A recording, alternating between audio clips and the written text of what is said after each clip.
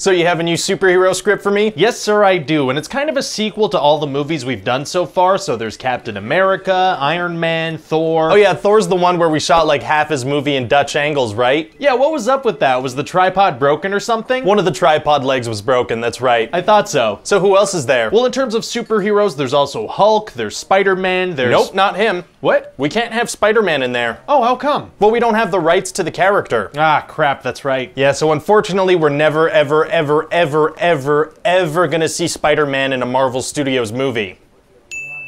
You all right? What's up? You had like a weird eye twitch or something. You have something in your eye?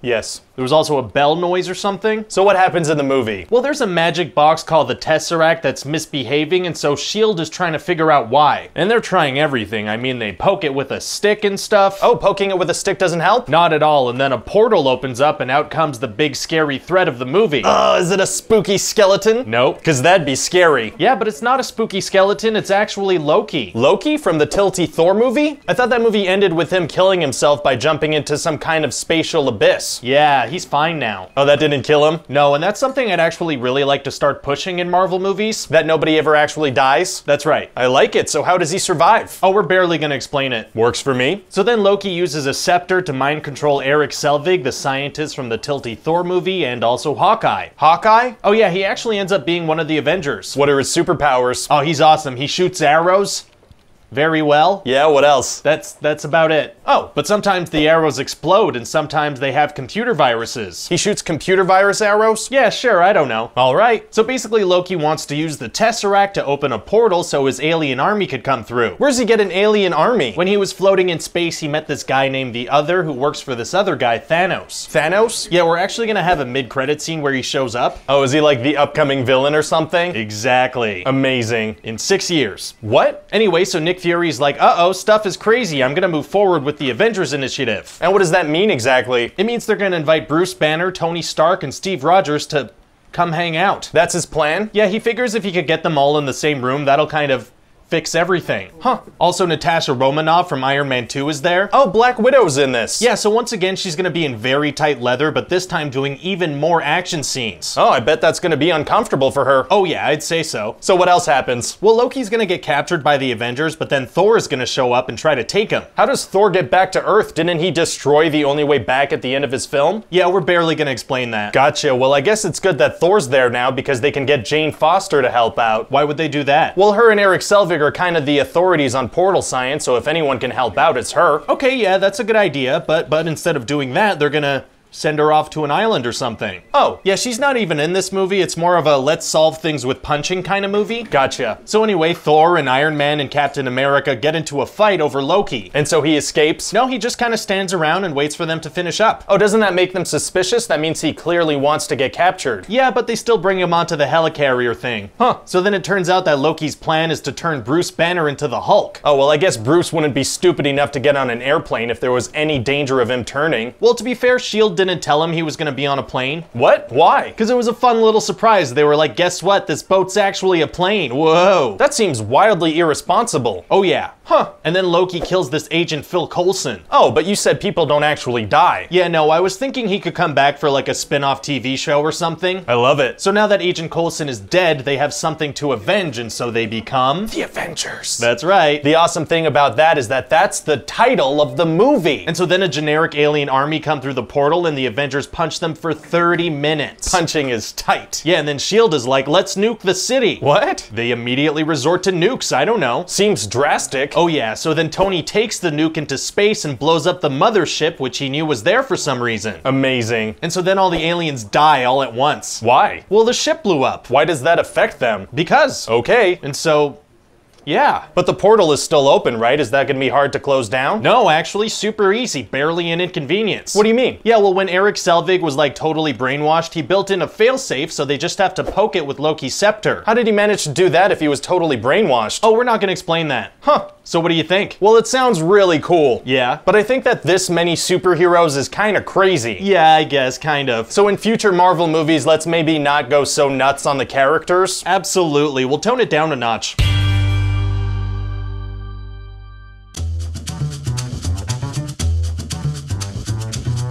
So you have a new Avengers script for me? Yes, sir, I do. And this one starts off with the Avengers doing some super awesome uh, murders. Oh, it does. Yeah, it's gonna be like 10 solid minutes of the Avengers murdering and cracking jokes and murdering and cracking jokes. That is so cool. yeah. And how are the Avengers getting along without Tony? Oh, well, he's right there with them. Didn't he kind of retire at the end of Iron Man 3? Yeah, that's right. So what explanation are we giving for his return? None whatsoever. Huh. So what's the movie about? Well, it's called Age of Ultron. Oh, Age of Ultron? So this takes place over several years? Yeah, no, just a couple of days. Oh, do you know what the word age means? I do not. I do not. It's a tough word. Yeah, sounds cool though. Age of Ultron. It does sound cool. So anyway, using Loki's scepter, Iron Man wants to create an AI called Ultron that can achieve peace in our time. Oh, that's nice. Yeah, but then Ultron understands his purpose as, oh, I need to murder everyone. Whoopsie. So Ultron attacks the Avengers while they're getting drunk and then escapes through the internet. He escapes through the internet. Yeah, so now he has access to every system on Earth except nukes. Oh, that's cool. So what's his plan? Is he gonna like take down the electrical grid? Nope. Something with the water supply? Nuh-uh. Air traffic control? Nope. All of the Avengers' super advanced technology? No, those sound like good ideas, but what he really plans on doing is making a city fly and throwing it down to Earth. Oh, you'd think a genius AI would be able to think of a better plan than that. You'd think so, but he's really into the city throwing idea. Interesting. So anyway, Ultron is this super scary, super intimidating robot. You should have him crack jokes like Loki.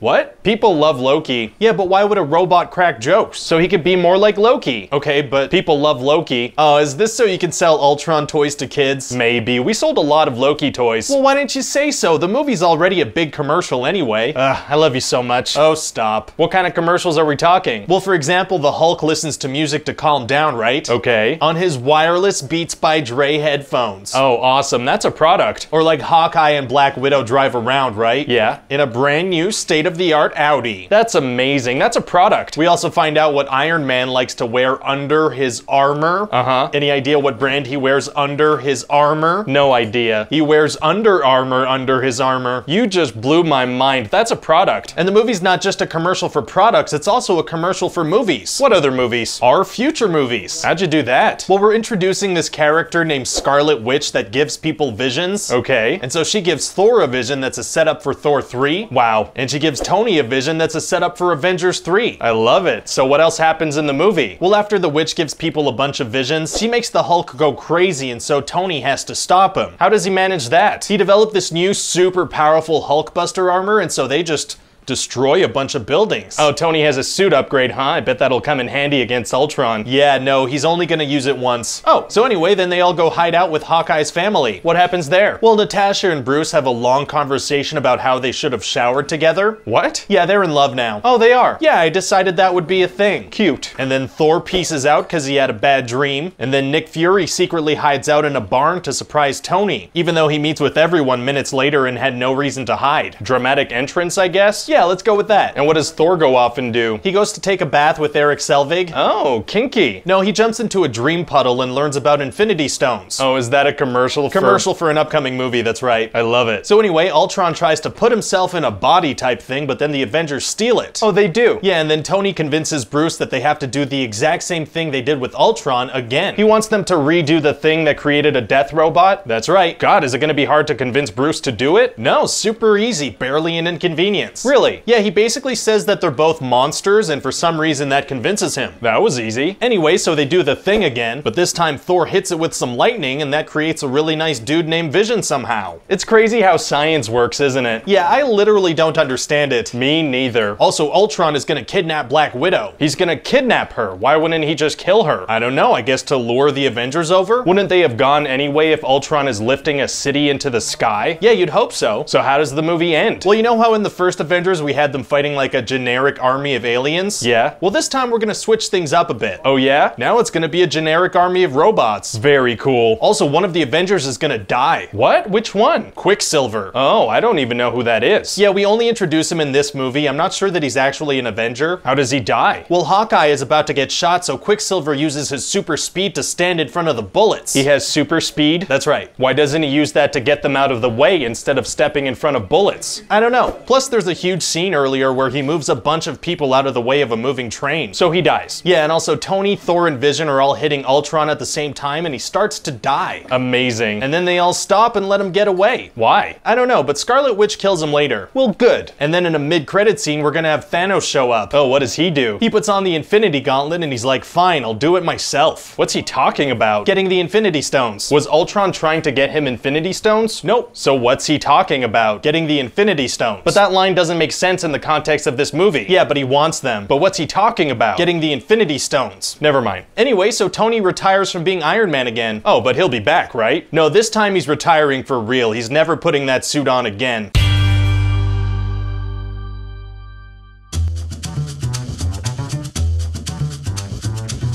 So you're here to talk about Ant-Man. Yes, sir, I am. Cool. So, uh, do you need your parking validated or something? What? Make sure you pull on the door on your way out because it looks like a push, but it's actually a pull. Don't, don't, don't you want me to pitch to you? oh, you're you're not leaving? I wasn't planning on it. Wow. Well, awesome. We had a lot of people leave the project, so I just kind of assumed. Wow, bummer. Yeah. So, you know, please don't leave me. You're my last hope. Sounds good. Please. Okay. So, what's the story about? Well, you know how in the first Iron Man movie, there's a character that develops a super suit, and then he's like, oh, this is too powerful to get out. But then a corporate bad guy from the same company wants to sell it and then makes his own evil version of the suit. And so you end up with a big final fight of nice guy super suit versus evil guy super suit. yeah. So what I'd like to do is that. Well, if it ain't broke, you know, keep doing it till it stops making money. That's what I figured. so tell me about the characters. Well, first of all, there's Hank Pym. He's the one that invented the shrinking technology, and he used to be Ant-Man. How's that technology gonna work? Inconsistently. Oh. Yeah, we're gonna say that it reduces the space between atoms so objects keep their mass, but then we're gonna do a bunch of stuff that contradicts that. How so? Well, sometimes Ant-Man's gonna have the mass and force of a full-grown man, but other times he'll be light enough to run on a gun barrel or ride an ant. And Hank Pym is gonna have an actual tank as a keychain, which should weigh about 60 tons. Why so inconsistent? Well, I wanted to do certain things because they would look cool, but then I was like, oh, those totally break the rules that I myself established in the script. Yeah. But then I was like,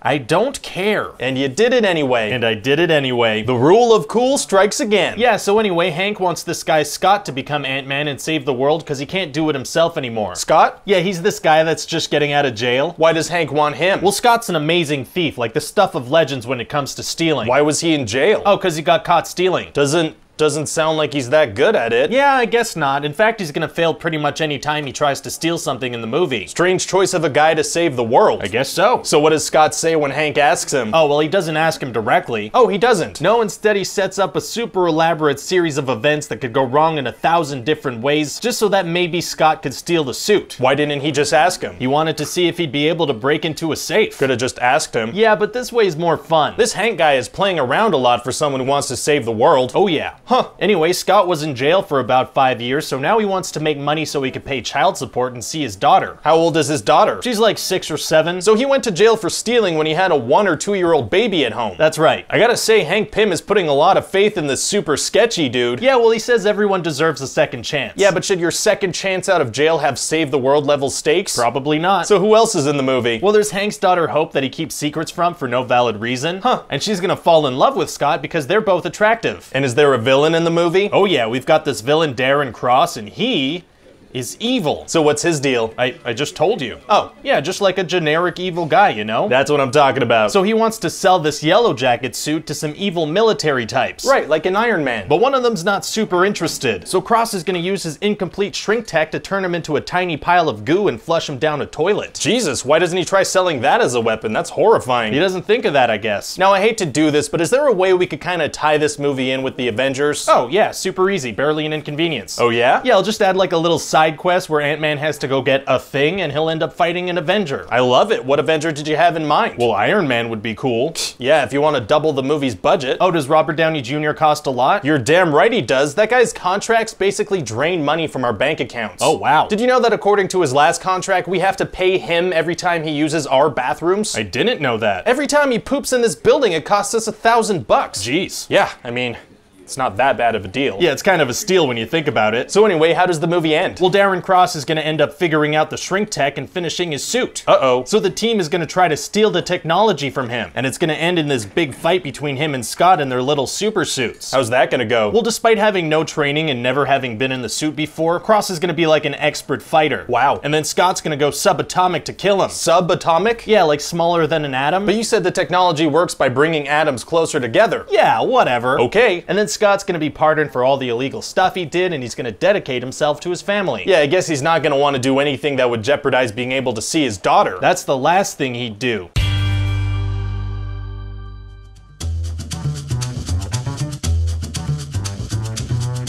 So you have that new Captain America script for me? Yes, sir, I do. Now, I should inform you there's a rumor going around Hollywood right now. Oh, what's that? Apparently, this year, everybody's gonna be making movies about heroes fighting heroes. There's gonna be Batman versus Superman. In Transformers, they're gonna fight Optimus. In the new Fast and Furious, they're gonna fight Dom. Wow, it sounds like everybody's gonna be doing the same kind of crap this year. Yeah, sounds that way.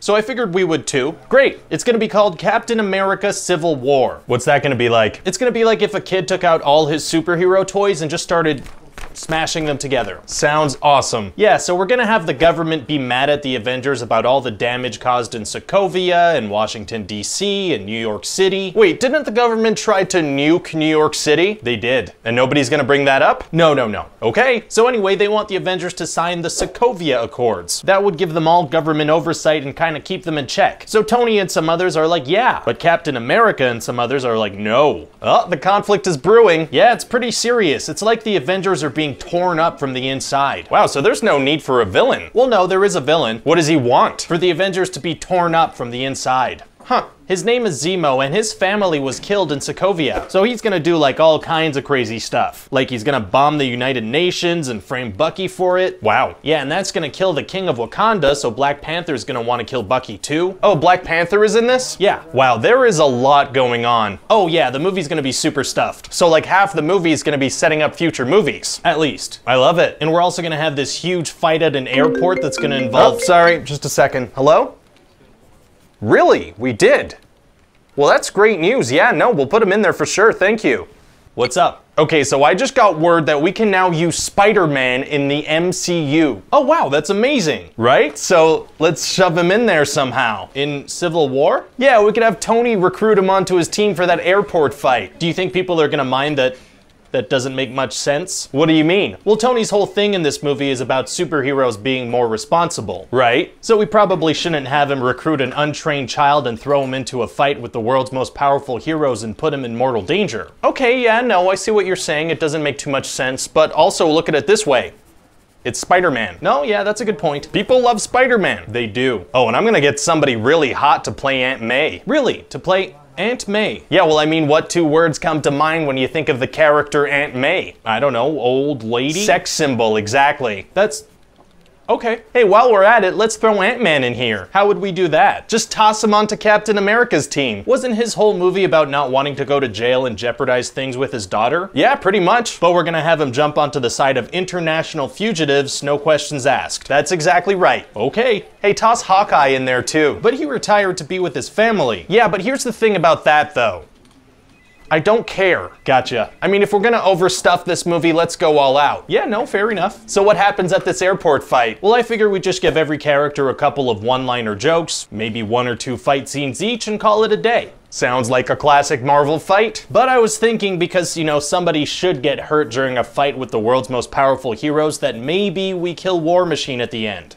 No. No? No, no, no. None of that things having consequences business. Okay, can he be injured, maybe?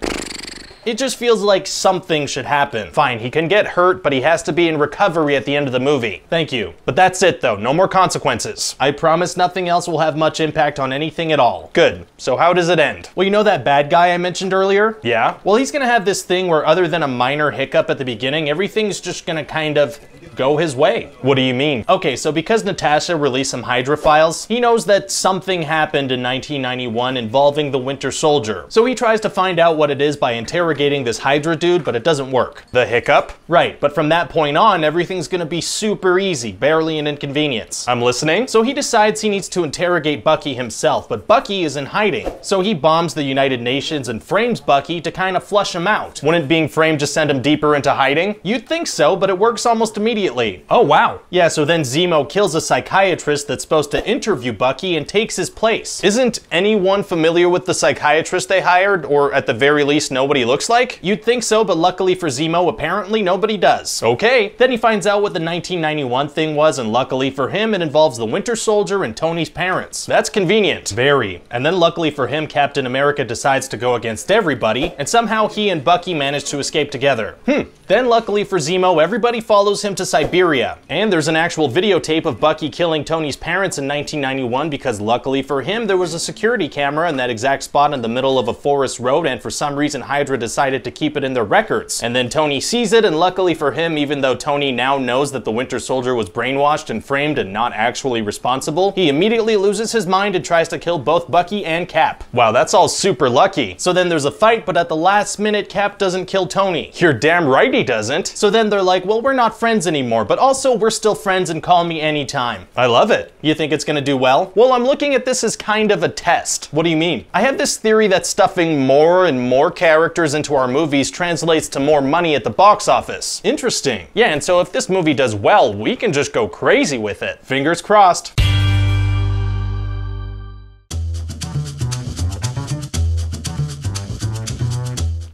So you have a Doctor Strange script for me? Yes, sir, I do. Great, I'm really excited about this one. I actually already have some actors interested. Oh yeah, who? Benedict Cumberbatch, Chiwetel Ejiofor, and Mads Mikkelsen? Are, are those the names of people? Yeah. It sounds like you punched a keyboard. No, they're people. If you say so. So what happens in the movie? Well, we're gonna meet Doctor Strange, and he's like a super rich surgeon that walks around like, boy, it sure is good to have hands that work. And what's his character like? He's like a Tony Stark type, but without the, the charm or, or, or the humor. So just an unlikable jerk then? Very much so. Does he have any redeeming qualities? Uh, yeah, he, he, um...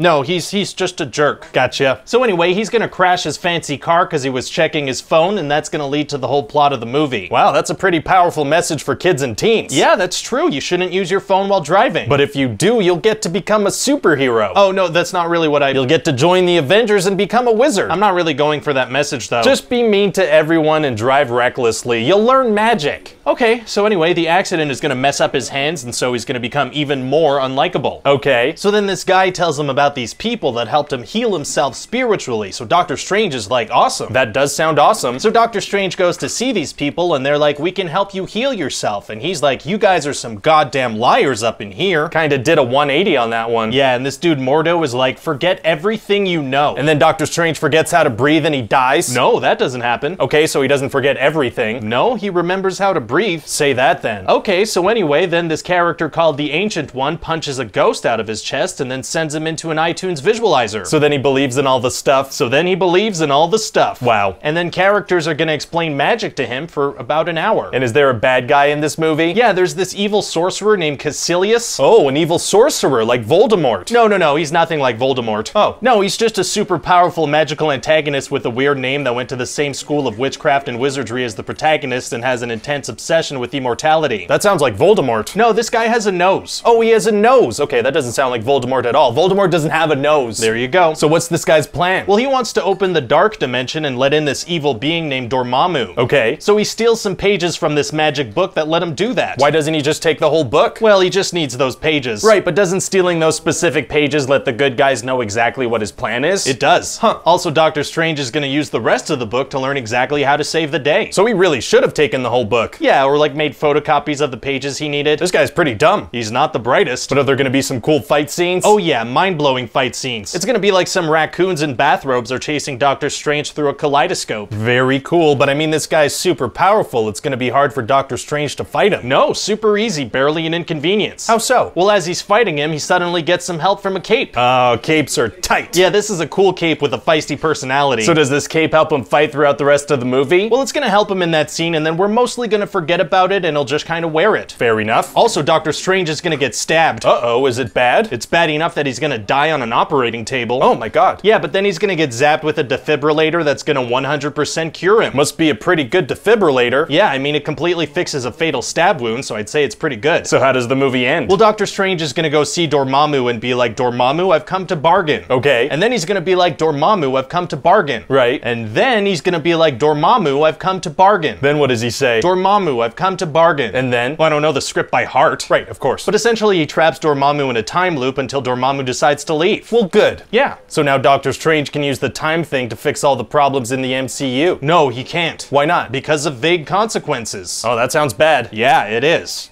Maybe. So about this Ancient One. Yeah? What's that character like in the comics, just so I know for casting? The Ancient One is like this wise old Tibetan monk. Oh, okay, I know just who to get. Oh yeah? Yeah, Tilda Swinton, she'd be perfect. That's not at all what I described. Yeah, well, I don't think anyone's gonna mind.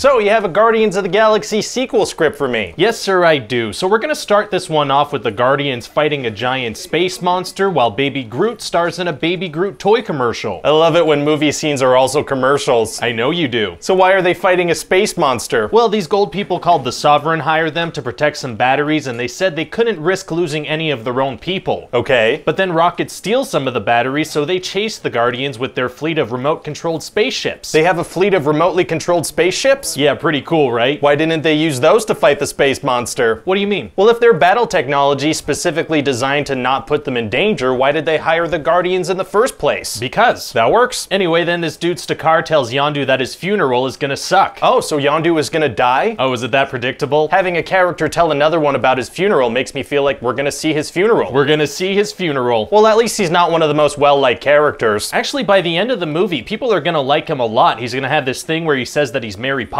and stuff. Oh, Mary Poppins is tight. Oh, that sounded kind of weird. Yeah, as soon as I said that, it sounded weird. Ugh. So we're actually gonna kill off a well-liked character. That's kind of a first for us. Yeah, and it's really gonna come as a surprise because all the main characters in this movie are pretty much invincible. Oh, they are? Yeah, they're gonna survive so many things that nothing's gonna feel like a threat anymore. What kind of stuff are we talking here? Oh, just stuff like crashing their ships, smashing head first into rocks, getting crazy beams of whatever go through them, violently hitting trees, getting struck by monster tentacles, being swallowed, traveling through space at dangerous speeds, being literally next to an explosion, getting their ships shot thousands of times. That's a lot of stuff. Oh yeah, it's gonna feel like a cartoon. People like cartoons. Anyway, in this movie, we're gonna have Peter meet his dad, and he's a celestial being named Exposition. His name is Exposition? Oh, no, sorry, it's Ego. I got confused because 90% of his lines are exposition. Wow. Yeah, so he brings them to his planet, which he is, and then he shows them a PowerPoint presentation explaining that he banged Peter's mom. That's kind of weird. Super weird, and so most of the Guardians are gonna hang out on Ego for a good chunk of the movie. What are they gonna do there?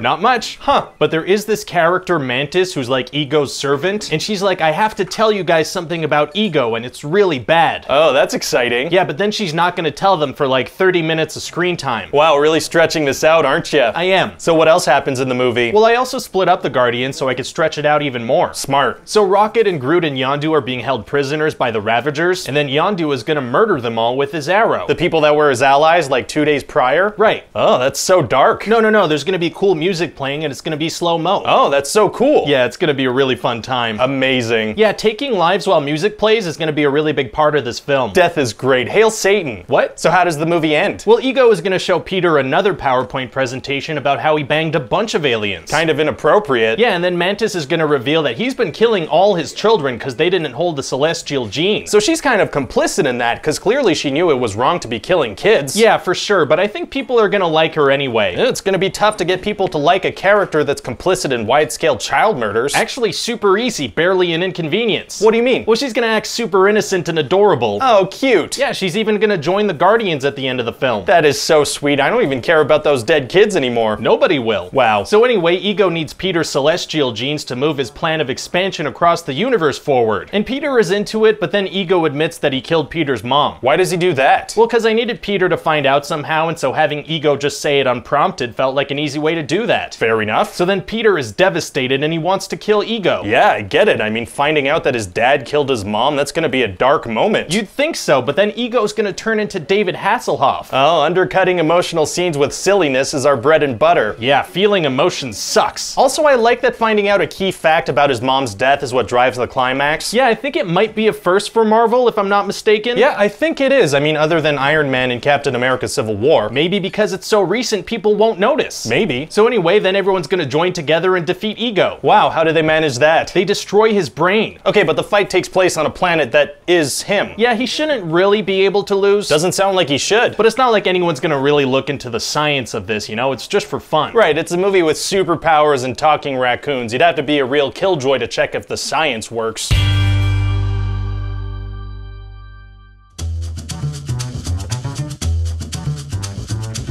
So what's the movie about? Well, it takes place a couple of months after Civil War. Okay, so Tony Stark has just made a big deal about superheroes having to be responsible. Exactly. So at the beginning of this movie, Tony leaves a weaponized spider suit with a high school student and then doesn't take his calls. Oh, very cool. Yeah, and it's equipped with a ton of crazy stuff. There's a bunch of web modes, a recon drone, glider wings, web grenades, even an instant kill mode that kind of turns on by itself. And Tony just leaves that in the hands of a teenager. Well, he left a software block on the crazier stuff. Oh, so it's impossible for Peter to access those modes. Actually super easy, barely an inconvenience. Really? Yeah, well, Peter's friend Ned from high school hacks into the suit and just unblocks everything. Oh, hacking. They also take a tracker out so Tony and Happy can't see where he goes. So Stark Technology's like the best in the world. This Ned guy must be really smart. Eh, he's not. I mean, I guess technically he is, but we're gonna play him as really dumb. Oh, interesting. Yeah, like in the first part of the movie, he keeps loudly asking Peter super sensitive questions. Oh, that's dumb. Yeah, you'd think that would be a no-brainer for anyone, right? And he's able to hack Stark Tech. He is, so Peter has access to a bunch of functionalities. Interesting. Yeah, and it was really fun to write because whenever I didn't know how to solve a problem in a scene, I was like, oh, well, maybe the Stark suit has a mode to solve this. That's smart. Yeah, and when that didn't work, I just have Iron Man swoop in and save the day. People like Iron Man. They do. Oh, that reminds me, the suit has a Jarvis interface, so we might have to get Paul Bettany back if possible. Oh, actually, we can't do that. How come? Well, he's transformed into Vision now. Oh, that's right. I can see if his wife is available. Jennifer Connelly, yeah, perfect. Great. So does this movie have a villain? Because I'd like to start casting ASAP. It does. He's called the Vulture. The Vulture. So kind of like a. He's like a bird man. A bird man. Okay. I can work with that, that'll help. Awesome. So what's his deal? Well, he was hired to clean up alien debris after the invasion in the first Avengers movie. Interesting, tying it together. Yeah, but then he was fired, so he became a supervillain to support his family. Just a 180 like that. Yeah, pretty much immediately. So he and his crew start stealing alien debris and use them to make super weapons. Oh, you'd think the government would be keeping really close watch on that stuff. You'd think so, but we jump forward eight years in time and Vulture's doing great, no problems at all. Wow. Yeah, and it's like they're not even being that secretive about it. No? No, they're just selling to like run of the mill criminals for robberies and stuff. Just anyone. It seems that way. Plus, one of the guys likes to demo them in open spaces. At another point, they're literally on the news. And nobody's looking too deeply into this. Not really, no, but Spider Man decides to. Oh, he does, does he? Yeah, and it's gonna lead to some pretty crazy action. Like, we're really stepping things up from the older Spider Man movies. I'm listening. So, you know, in The Amazing Spider Man 2, there's Peter's love interest falling from high up inside a tower? Yeah. Well, in this movie, we're gonna have Peter's love interest falling from high up inside a tower, except now that tower is the Washington Monument. Hmm, what's wrong? I think that's a mistake. It is? Yeah, I do. I think the Washington Monument is technically an obelisk, not a tower. Oh, but you like the idea. Oh yeah, no, I love the idea. Love interest falling from high up, that's amazing. Great. And we're also gonna do the Jesus thing from Spider-Man 2. Jesus thing? You know when Tobey Maguire is trying to stop a train with some webs and it looks like he's gonna poop? Oh, yeah. Yeah, so basically that, but with a ferry that gets cut in half. How does he manage to get the ferry back together? Well, I couldn't think of a way for the suit to take care of it, so Iron Man swoops in and saves the day. Gotcha. That's a good system. Right? It made this so easy to write. So what's the climax of the movie? Oh, so Happy Hogan is having a bunch of super dangerous and valuable stuff shipped for Tony. He does that even though there's this big bad guy flying around stealing dangerous and valuable stuff? Yes, he does. So I guess he's gonna have some pretty crazy security on that shipment. No, he puts it on a plane and sets the plane to autopilot. That's it? Oh, it's invisible. Does that help? No. How did the Vulture and his team learn so much about the plans to ship this stuff? Oh, we're not gonna explain that. Oh, that's a gutsy move, because some people might consider that lazy writing, but I know you're just trying to keep some mystery. I like it. Yes, because of the mystery, that's why. I did that. And how does the movie end? Well, Tony had taken Peter's suit away because he went after the vulture, which was reckless. Right. And at the end, he offers him a new suit because he went after the vulture, which was brave. Okay, so Spider Man ends the movie with an even better suit. Actually, no, that's a pretty big moment. Go on. Tony offers him this amazing Iron Spider suit, but he's like, no thanks. Oh, wow. Yeah, it's a huge character moment. I like that. Right? It sends the message of like, I don't need Iron Man. Exactly, by not taking the suit, it's like, I am my own person. Yeah, and I think the decision to not get in the suit is really gonna define the character moving forward. I love it.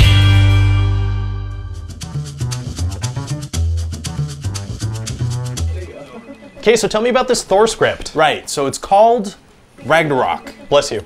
No, Ragnarok basically means the apocalypse on Asgard. Oh. What's wrong? It's just that it sounds pretty dark and we're looking for kind of a lighter tone here. Oh no, this is a straight up comedy. It is? Yeah, literally any moment that could potentially be a little dramatic is either turned into or followed by a joke. So you can't really take anything seriously at all. Not really, no. Perfect, because we have a comedy director we really want to work with on this. Who's that? Taika Waititi? Bless you. That's not. Never mind. Oh. So tell me about the new direction you're taking the Thor character in. Right, so what I did was take Chris Hemsworth from Thor. Okay. Then I took Chris Hemsworth from Ghostbusters. Right. And I kind of just squished them into one character. Amazing. So he's a lot dumber now. Oh yeah, he's a lot dumber. Like the movie starts with him talking to a skeleton. Oh, like as a joke? Kinda, but there's also nobody else around, so it's like, who's he doing this bit for? So it just comes across as dumb. Exactly, so it's like either Thor is very stupid or it's a really lazy joke that doesn't actually make sense in the scene. It's not the second one, is it?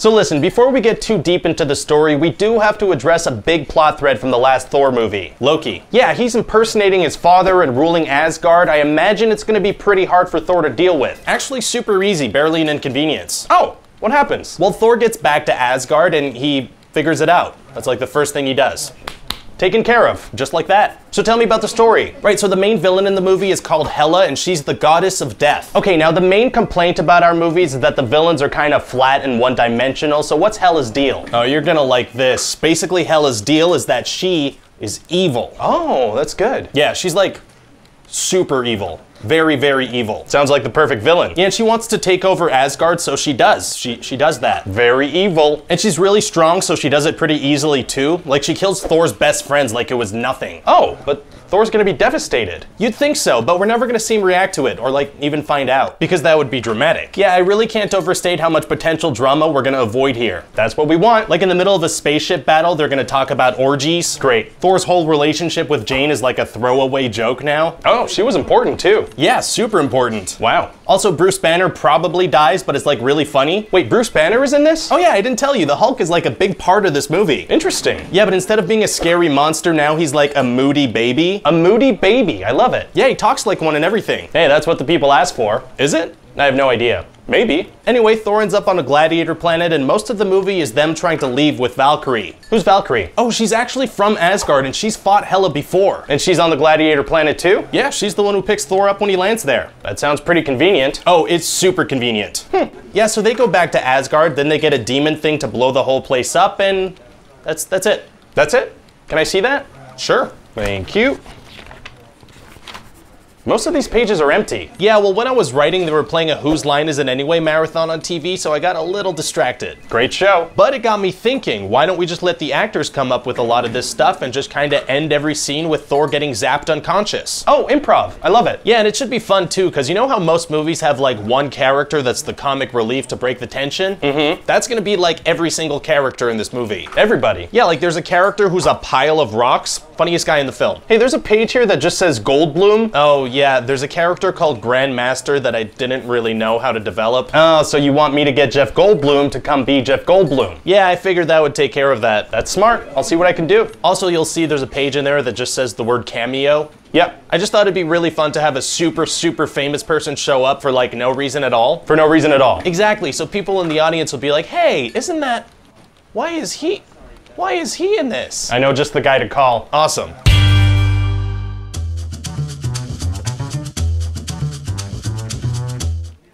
So you have a new script for me? Yes, sir, I do. And this one's all about Black Panther. Oh, very cool. Yeah. So what other Avengers are in it? Oh, uh, none. None. It's just Black Panther. Oh, no. No? We don't do that anymore. What do you mean? If you're doing a solo Marvel movie, you need more than one superhero in there. Like how Iron Man was in Spider Man Homecoming, or how Guardians is about a team of space heroes, or how we put everyone in Captain America Civil War. It's just how we sell things now. Well, what about Doctor Strange? Yeah, see, that didn't even make it into our top 10 highest grossing movies. Oh. Yeah, we kind of thought it would sell itself because of the star power of Blemidich Cumberbatch. Right, well, I'd still like to give it a try. You think a Chadwick Boseman led movie is gonna do better than one led by Bernadette Camberbench? I think it could. This is Barnacle Clampersnatch we're talking here. Okay, you're not even trying to say his name right anymore, are you? Yeah, no, I stopped trying. Listen, I think if this movie tells a good story, it could do pretty well. All right, so what's the story? Well, T'Challa goes home to Wakanda now that his dad is dead and he's the Black Panther. Ah, and Captain America and Bucky are there. no, they're not. You have to mention them. We showed them there at the end of Civil War. Seriously? Mm-hmm. Okay, I'll throw Bucky in a post-credit scene, I guess. Yes, awesome. So we're good now? Oh yeah, now we're gonna be able to sell this movie. Really? Yeah, now we have that Sebastian Stan star power, so we're good. Well, great. So anyway, for T'Challa's coronation where he becomes Black Panther, he has to drink this thing that takes away his Black Panther powers. Wait, he already has the powers? Yeah, he had them in Civil War. Right, but we're saying he's about to become Black Panther because his dad died. That's right. And to do that, they have to make him not Black Panther anymore? How, how does that work? Yeah, we're not really gonna explain that in the movie. Oh. But we will explain it in a Black Panther prelude comic, so if fans want to know more. They can pay me money. Exactly. Money is tight. Oh, are you having money problems? No, what? You said money was tight. It is tight. Okay, so anyway, T'Challa has to go through this ceremony where people can try to kill him if they want to be king. Whoa. Yeah, they don't mess around in Wakanda. You'd think as the most advanced nation in the world, they'd have figured out a way to move past bloodlines and death fights. Well, it's tradition, so what are you gonna do? Try not to die, I guess. Yeah, but other than death fights, Wakanda's a pretty cool place. Oh yeah? Yeah, they have a bunch of awesome stuff like vibranium weapons and cool ships and super crazy technology. Very cool. Also, war rhinos. Did you say war rhinos? Yeah, war rhinos. What does that even mean? War rhinos, like, you know, rhinoceroses of war. If they have vibranium weapons, why do they need rhinos? That's actually a good question. Let me check here. I think I have an explanation. Uh, yeah, because it's awesome. It sounds kind of silly. It's awesome. yeah, but they Okay, look, I didn't want to have to do this, but if you don't let me put war rhinos in this movie, I'm gonna go on a tweet storm of Infinity War spoilers, so help me God. you wouldn't. I want those rhinos. Okay, look at me. Put the phone down. We'll put the rhinos in the movie. Great, thanks. So what else happens? Well, there's this dude named Klaue who stole a bunch of vibranium from Wakanda back in the day and killed a bunch of people and then never aged. Okay. And we see him and this guy Killmonger steal an artifact from a museum that nobody knew was actually made of vibranium. How come they know it's made of vibranium? Because. okay. And so Klaue goes to Korea to sell this vibranium to an American buyer. Where does Killmonger go? Oh, well, he goes away for a good chunk of the movie. Mysterious. So the Wakandans find out about this deal and they see it as their chance to finally capture Klaue. Oh yeah, get some sweet justice. Right, and this guy W'Kabi's parents were killed by Klaue back in the day. So T'Challa tells him, My man, I'm definitely gonna capture this guy for you. You have my word. I promise. This is gonna happen. I'm gonna do this for you. I swear to God. So that's obviously not gonna work out. yeah, no, it doesn't work out. What happens? Well, they do capture Klaue, but then Killmonger shows up and helps him escape. Oh, Killmonger's back. Yeah, it turns out he had his own evil plan going on this whole time. Oh, what's he planning? His plan is to kill Klaue and bring him to Wakanda to show that he's better than T'Challa. And I imagine it's gonna be hard for him to get into Wakanda. No, actually super easy, barely an inconvenience. Really? Yeah, he's just gonna kind of walk in and then immediately run into W'Kabi. Oh, that is convenient. Yeah, I mean, the very first person he runs into is the one that would have the most emotional response to seeing Klaue's body, so that works out well for him. But I guess T'Challa can just defuse the whole situation by explaining what happened. You'd think so, like, hey, W'Kabi, we did capture Klaue, but this guy Killmonger attacked the holding cell with explosives. Right, that would defuse things. Yeah, for sure. Anyway, he doesn't do that. Oh, okay. And as it turns out, Killmonger is T'Challa's cousin, and his dad was killed by T'Challa's dad. Uh-oh. So he challenges him to a death fight and throws him off a waterfall. Whoa. And so Killmonger becomes king, and he wants to send vibranium throughout the world to help oppressed people rise up and. Wait, wait, wait, hold on. What are you doing? What's up? You're kind of developing this villain a lot. Yeah, I guess. Well, that's not really what we do here. right, but maybe we could, you know, try that. You're crazy, man. All right, well, we'll give it a shot. You're nuts. So anyway, T'Challa was being kept alive by this tribe called the Jabari. And so he's like, hey, help us come reclaim the throne. And they're like, No. Harsh. Yeah, and then T'Challa goes back and there's a huge fight between everyone. Very cool. And right when it seems like everything's gonna go wrong, the Jabari tribe shows up to help. Oh, good thing they suddenly changed their mind at the exact right moment. Yeah, it's a pretty sudden and great change of heart with millisecond precise timing. And how does it end? Well, then T'Challa and Killmonger have a CGI cat fight and Killmonger dies. Wait, are you saying there's a final fight full of CGI where the hero fights a bad guy who has similar powers? Yeah, I guess so. Now that is a Marvel third act. I love it. So you think it'll do well? Well, we kind of have to make this movie to set up Infinity War, but based on what you've told me, no, I don't think it's going to do well at all.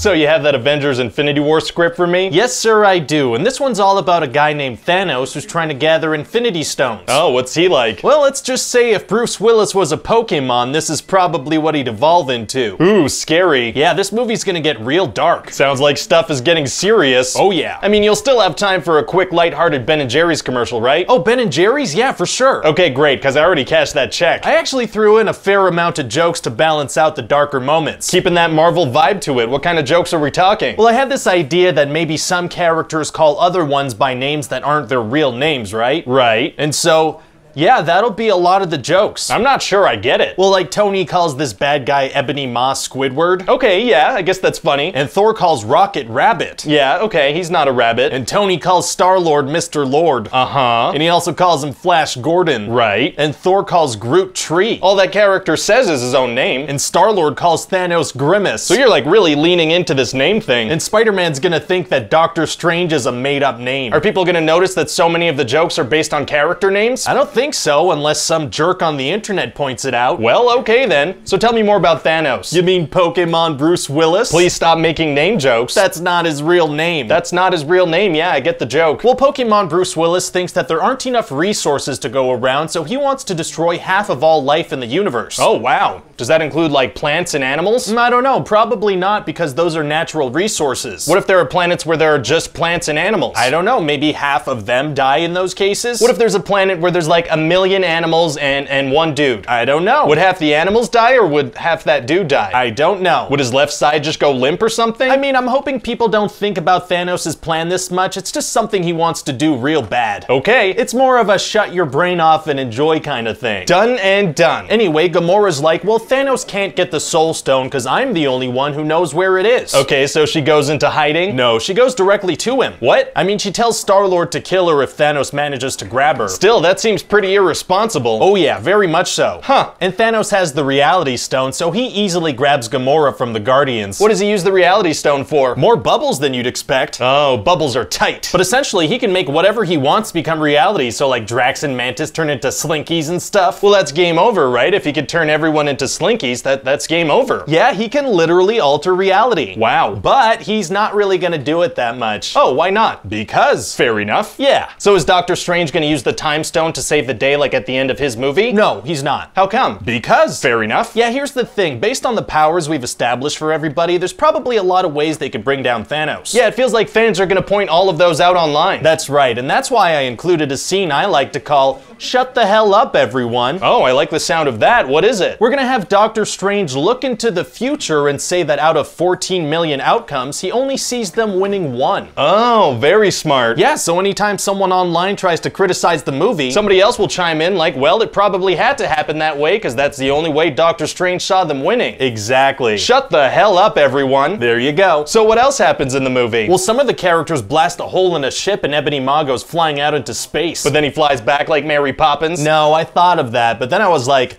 this isn't Star Wars. Bummer. Sorry. So what do they do about the hole in the spaceship? Well, Iron Man closes it up because he has this cool new thing where his suit is like basically magic. Oh, it is. Yeah, it fixes up holes in spaceships and morphs into whatever he needs in any given situation, and it closes up massive stab wounds. How is that possible? Nanotechnology. Yeah, but what does that mean exactly? Nanotechnology. but how exactly? nanotechnology, I don't know. okay, nanotechnology sounds good. Yeah. So what do some of the other characters do in the movie? Like, what's up with Captain America? Oh, he has a beard now. That's it? pretty much. What about Black Panther? He goes, Yibambe. Black Widow? She's gonna have this little moment where she's surprised to see that Bruce is back back on Earth, even though he's the one who called them. Oh, well, that's sweet. She's also gonna be part of a lady fight where all the women team up to fight the female antagonist. That's progressive, right? Maybe. What about Winter Soldier? He has a new arm and he picks up a raccoon. Hawkeye? Not even in it. Ant-Man? Nah. I gotta say, it feels like a lot of characters are getting sidelined. Well, you asked me to shove 75 main characters into a single movie, you sick bastard. Uh, I did do that. I haven't slept since 2015 and I hate you so much. Hey, throw that Tyrion Lannister dude in there. I like him. Please stop.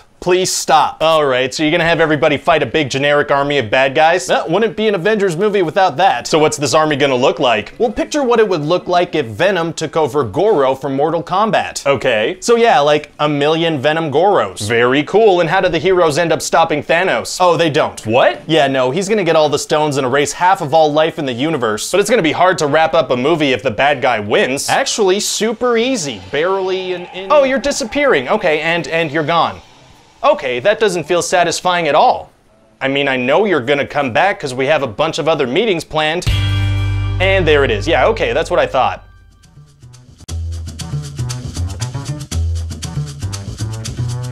So you have a new superhero script for me? Yes, sir, I do. And it's kind of a sequel to all the movies we've done so far. So there's Captain America, Iron Man, Thor. Oh yeah, Thor's the one where we shot like half his movie in Dutch angles, right? Yeah, what was up with that? Was the tripod broken or something? One of the tripod legs was broken, that's right. I thought so. So who else is there? Well, in terms of superheroes, there's also Hulk, there's Spider-Man, there's... Nope, not him. What? We can't have Spider-Man in there. Oh, how come? Well, we don't have the rights to the character. Ah, crap, that's right. Yeah, so unfortunately, we're never, ever, ever, ever, ever, ever gonna see Spider-Man in a Marvel Studios movie. You all right? What's up? You had like a weird eye twitch or something. You have something in your eye? Yes. There was also a bell noise or something. So what happens in the movie? Well, there's a magic box called the Tesseract that's misbehaving, and so S.H.I.E.L.D. is trying to figure out why. And they're trying everything. I mean, they poke it with a stick and stuff. Oh, poking it with a stick doesn't help? Not at all, and then a portal opens up, and out comes the big scary threat of the movie. Oh, is it a spooky skeleton? Nope. Because that'd be scary. Yeah, but it's not a spooky skeleton, it's actually Loki. Loki from the Tilty Thor movie? I thought that movie ended with him killing himself by jumping into some kind of spatial abyss. Yeah, he's fine now. Oh, that didn't kill him? No, and that's something I'd actually really like to start pushing in Marvel movies. That nobody ever actually dies? That's right. I like it, so how does he survive? Oh, we're barely gonna explain it. Works for me. So then Loki uses a scepter to mind control Erik Selvig, the scientist from the Tilty Thor movie, and also Hawkeye. Hawkeye? Oh yeah, he actually ends up being one of the Avengers. What are his superpowers? Oh, he's awesome. He shoots arrows very well. Yeah, what else? That's that's about it. Oh, But sometimes the arrows explode and sometimes they have computer viruses. he shoots computer virus arrows? Yeah, sure, I don't know. All right. So basically Loki wants to use the Tesseract to open a portal so his alien army could come through. Where's he get an alien army? When he was floating in space, he met this guy named the Other who works for this other guy, Thanos. Thanos? Yeah, we're actually gonna have a mid-credit scene where he shows up. Oh, is he like the upcoming villain or something? Exactly. Amazing. In six years. What? Anyway, so Nick Fury's like, uh-oh, stuff is crazy. I'm gonna move forward with the Avengers Initiative. And what does that mean exactly? It means they're gonna invite Bruce Banner, Tony Stark, and Steve Rogers to come hang out. That's his plan? Yeah, he figures if he could get them all in the same room, that'll kind of fix everything. Huh. Also, Natasha Romanoff from Iron Man 2 is there. Oh, Black Widow's in this. Yeah, so once again, she's gonna be in very tight leather, but this time doing even more action scenes. Oh, I bet that's gonna be uncomfortable for her. Oh yeah, I'd say so. So what else happens? Well, Loki's gonna get captured by the Avengers, but then Thor is gonna show up and try to take him. How does Thor get back to Earth? Didn't he destroy the only way back at the end of his film? Yeah, we're barely gonna explain that. Gotcha. Well, I guess it's good that Thor's there now because they can get Jane Foster to help out. Why would they do that? Well, her and Erik Selvig are kind of the authorities on portal science, so if anyone can help out, it's her. Okay, yeah, that's a good idea, but but instead of doing that, they're gonna send her off to an island or something. Oh, Yeah, she's not even in this movie. It's more of a let's solve things with punching kind of movie. gotcha. So anyway, Thor and Iron Man and Captain America get into a fight over Loki. And so he escapes? No, he just kind of stands around and waits for them to finish up. Oh, doesn't that make them suspicious? That means he clearly wants to get captured. Yeah, but they still bring him onto the helicarrier thing. Huh. So then it turns out that Loki's plan is to turn Bruce Banner into the Hulk. Oh, well, I guess Bruce wouldn't be stupid enough to get on an airplane if there was any danger of him turning. Well, to be fair, S.H.I.E.L.D. didn't tell him he was gonna be on a plane. What? Why? Because it was a fun little surprise. They were like, guess what? This boat's actually a plane. Whoa. That seems wildly irresponsible. Oh, yeah.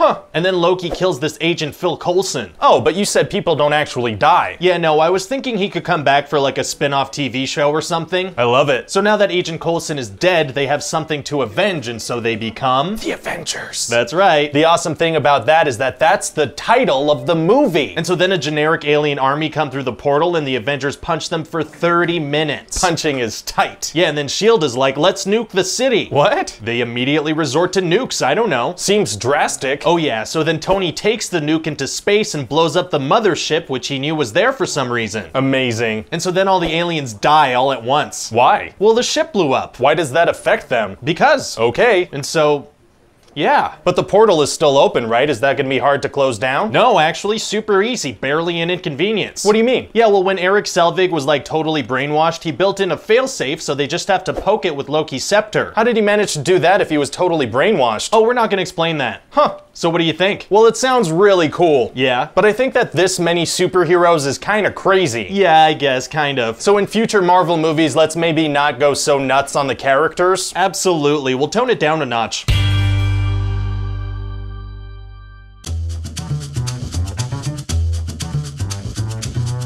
So you have a new Avengers script for me? Yes, sir, I do. And this one starts off with the Avengers doing some super awesome uh, murders. Oh, it does? Yeah, it's gonna be like 10 solid minutes of the Avengers murdering and cracking jokes and murdering and cracking jokes. That is so cool. Yeah. And how are the Avengers getting along without Tony? Oh, well, he's right there with them. Didn't he kind of retire at the end of Iron Man 3? Yeah, that's right. So what explanation are we giving for his return? None whatsoever. Huh, so what's the movie about? Well, it's called Age of Ultron. Oh, Age of Ultron? So this takes place over several years? Yeah, no, just a couple of days. Oh, do you know what the word age means? I do not. I do not. It's a tough word. Yeah, sounds cool though. Age of Ultron. It does sound cool. So anyway, using Loki's scepter, Iron Man wants to create an AI called Ultron that can achieve peace in our time. Oh, that's nice. Yeah, but then Ultron understands his purpose as, oh, I need to murder everyone. Whoopsie. So Ultron attacks the Avengers while they're getting drunk and then escapes through the internet. He escapes through the internet. Yeah, so now he has access to every system on Earth except nukes. Oh, that's cool. So what's his plan? Is he gonna like take down the electrical grid? Nope. Something with the water supply? Nuh-uh. Air traffic control? Nope. All of the Avengers super advanced technology? No, those sound like good ideas, but what he really plans on doing is making a city fly and throwing it down to Earth. Oh, you'd think a genius AI would be able to think of a better plan than that. You'd think so, but he's really into the city throwing idea. Interesting. So anyway, Ultron is this super scary, super intimidating robot. You should have him crack jokes like Loki.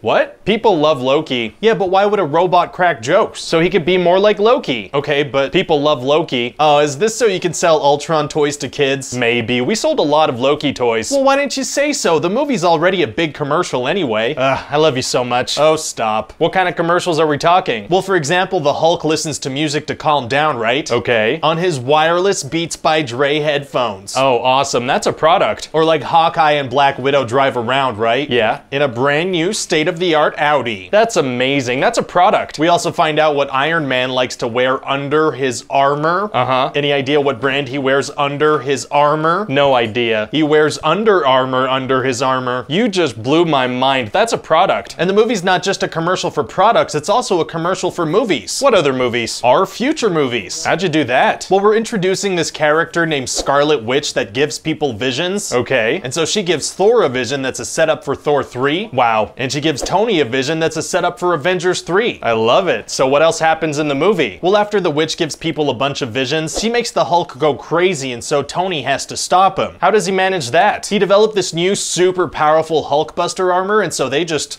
destroy a bunch of buildings. Oh, Tony has a suit upgrade, huh? I bet that'll come in handy against Ultron. Yeah, no, he's only gonna use it once. Oh, so anyway, then they all go hide out with Hawkeye's family. What happens there? Well, Natasha and Bruce have a long conversation about how they should have showered together. What? Yeah, they're in love now. Oh, they are? Yeah, I decided that would be a thing. Cute. And then Thor pieces out because he had a bad dream. And then Nick Fury secretly hides out in a barn to surprise Tony, even though he meets with everyone minutes later and had no reason to hide. Dramatic entrance, I guess? Yeah, Yeah, let's go with that. And what does Thor go off and do? He goes to take a bath with Erik Selvig. Oh, kinky. No, he jumps into a dream puddle and learns about Infinity Stones. Oh, is that a commercial? Commercial for an upcoming movie, that's right. I love it. So anyway, Ultron tries to put himself in a body type thing, but then the Avengers steal it. Oh, they do? Yeah, and then Tony convinces Bruce that they have to do the exact same thing they did with Ultron again. He wants them to redo the thing that created a death robot. That's right. God, is it gonna be hard to convince Bruce to do it? No, super easy, barely an inconvenience. Really? Yeah, he basically says that they're both monsters, and for some reason that convinces him. That was easy. Anyway, so they do the thing again, but this time Thor hits it with some lightning, and that creates a really nice dude named Vision somehow. It's crazy how science works, isn't it? Yeah, I literally don't understand it. Me neither. Also, Ultron is gonna kidnap Black Widow. He's gonna kidnap her. Why wouldn't he just kill her? I don't know, I guess to lure the Avengers over? Wouldn't they have gone anyway if Ultron is lifting a city into the sky? Yeah, you'd hope so. So how does the movie end? Well, you know how in the first Avengers we had them fighting like a generic army of aliens? Yeah. Well, this time we're gonna switch things up a bit. Oh yeah? Now it's gonna be a generic army of robots. Very cool. Also, one of the Avengers is gonna die. What? Which one? Quicksilver. Oh, I don't even know who that is. Yeah, we only introduce him in this movie. I'm not sure that he's actually an Avenger. How does he die? Well, Hawkeye is about to get shot, so Quicksilver uses his super speed to stand in front of the bullets. He has super speed? That's right. Why doesn't he use that to get them out of the way instead of stepping in front of bullets? I don't know. Plus, there's a huge scene earlier where he moves a bunch of people out of the way of a moving train. So he dies. Yeah, and also Tony, Thor, and Vision are all hitting Ultron at the same time, and he starts to die. Amazing. And then they all stop and let him get away. Why? I don't know, but Scarlet Witch kills him later. Well, good. And then in a mid-credit scene, we're gonna have Thanos show up. Oh, what does he do? He puts on the Infinity Gauntlet and he's like, fine, I'll do it myself. What's he talking about? Getting the Infinity Stones. Was Ultron trying to get him Infinity Stones? Nope. So what's he talking about? Getting the Infinity Stones. But that line doesn't make sense in the context of this movie. Yeah, but he wants them. But what's he talking about? Getting the Infinity Stones. Never mind. Anyway, so Tony retires from being Iron Man again. Oh, but he'll be back, right? No, this time he's retiring for real. He's never putting that suit on again.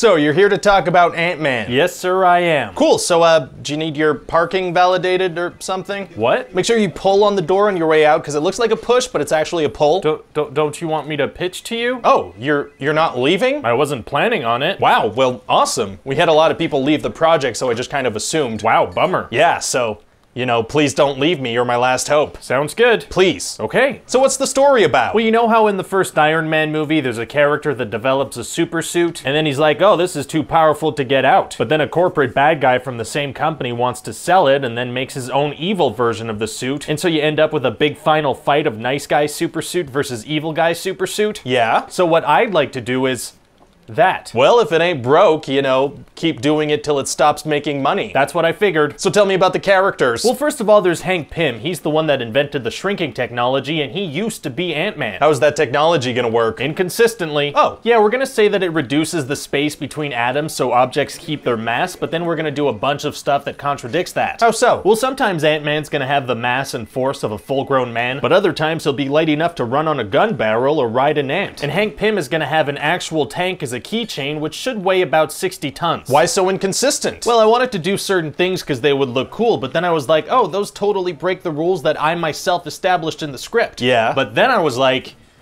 I don't care. and you did it anyway. And I did it anyway. the rule of cool strikes again. Yeah, so anyway, Hank wants this guy Scott to become Ant-Man and save the world because he can't do it himself anymore. Scott? Yeah, he's this guy that's just getting out of jail. Why does Hank want him? Well, Scott's an amazing thief, like the stuff of legends when it comes to stealing. why was he in jail? Oh, because he got caught stealing. doesn't doesn't sound like he's that good at it. Yeah, I guess not. In fact, he's gonna fail pretty much any time he tries to steal something in the movie. Strange choice of a guy to save the world. I guess so. So what does Scott say when Hank asks him? Oh, well, he doesn't ask him directly. Oh, he doesn't. No, instead he sets up a super elaborate series of events that could go wrong in a thousand different ways, just so that maybe Scott could steal the suit. Why didn't he just ask him? He wanted to see if he'd be able to break into a safe. could have just asked him. Yeah, but this way's more fun. This Hank guy is playing around a lot for someone who wants to save the world. oh yeah. Huh. Anyway, Scott was in jail for about five years, so now he wants to make money so he could pay child support and see his daughter. How old is his daughter? She's like six or seven. So he went to jail for stealing when he had a one or two year old baby at home. That's right. I gotta say, Hank Pym is putting a lot of faith in this super sketchy dude. Yeah, well, he says everyone deserves a second chance. Yeah, but should your second chance out of jail have save the world level stakes? probably not. So who else is in the movie? Well, there's Hank's daughter Hope that he keeps secrets from for no valid reason. Huh. And she's gonna fall in love with Scott because they're both attractive. and is there a villain in the movie? Oh yeah, we've got this villain Darren Cross, and he is evil. So what's his deal? I, I just told you. Oh, Yeah, just like a generic evil guy, you know? that's what I'm talking about. so he wants to sell this yellow jacket suit to some evil military types. right, like an Iron Man. But one of them's not super interested. So Cross is gonna use his incomplete shrink tech to turn him into a tiny pile of goo and flush him down a toilet. Jesus, why doesn't he try selling that as a weapon? That's horrifying. He doesn't think of that, I guess. Now, I hate to do this, but is there a way we could kind of tie this movie in with the Avengers? Oh, yeah, super easy, barely an inconvenience. Oh, yeah? Yeah, I'll just add like a little side quest where Ant-Man has to go get a thing and he'll end up fighting an Avenger. I love it. What Avenger did you have in mind? well, Iron Man would be cool. yeah, if you want to double the movie's budget. Oh, does Robert Downey Jr. cost a lot? You're damn right he does. That guy's contracts basically drain money from our bank accounts. Oh, wow. Did you know that according to his last contract, we have to pay him every time he uses our bathrooms? I didn't know that. Every time he poops in this building, it costs us a thousand bucks. Jeez. Yeah, I mean, it's not that bad of a deal. Yeah, it's kind of a steal when you think about it. So anyway, how does the movie end? Well, Darren Cross is going to end up figuring out the shrink tech and finishing his suit. Uh-oh. So the team is going to try to steal the technology from him, and it's going to end in this big fight between him and Scott in their little super suits. How's that gonna go? Well, despite having no training and never having been in the suit before, Cross is going to be like an expert fighter. Wow. And then Scott's going to go subatomic to kill him. subatomic? Yeah, like smaller than an atom. But you said the technology works by bringing atoms closer together. yeah, whatever. Okay. And then Scott's going to be pardoned for all the illegal stuff he did, and he's to dedicate himself to his family. Yeah, I guess he's not gonna want to do anything that would jeopardize being able to see his daughter. That's the last thing he'd do.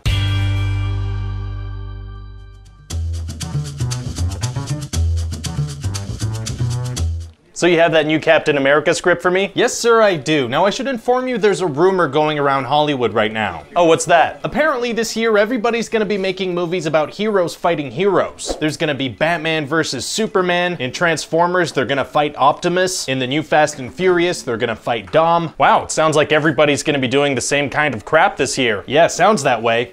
So I figured we would too. Great. It's gonna be called Captain America Civil War. What's that gonna be like? It's gonna be like if a kid took out all his superhero toys and just started smashing them together. Sounds awesome. Yeah, so we're gonna have the government be mad at the Avengers about all the damage caused in Sokovia and Washington, D.C. and New York City. Wait, didn't the government try to nuke New York City? They did. And nobody's gonna bring that up? No, no, no. Okay. So anyway, they want the Avengers to sign the Sokovia Accords. That would give them all government oversight and kind of keep them in check. So Tony and some others are like, yeah, but Captain America and some others are like, no. Oh, the conflict is brewing. Yeah, it's pretty serious. It's like the Avengers are being torn up from the inside. Wow, so there's no need for a villain. Well, no, there is a villain. What does he want? For the Avengers to be torn up from the inside. Huh. His name is Zemo, and his family was killed in Sokovia. So he's gonna do like all kinds of crazy stuff. Like he's gonna bomb the United Nations and frame Bucky for it. Wow. Yeah, and that's gonna kill the King of Wakanda, so Black Panther's gonna wanna kill Bucky too. Oh, Black Panther is in this? Yeah. Wow, there is a lot going on. Oh yeah, the movie's gonna be super stuffed. So, like, half the movie is gonna be setting up future movies. At least. I love it. And we're also gonna have this huge fight at an airport that's gonna involve- Oh, involve. sorry, just a second. Hello?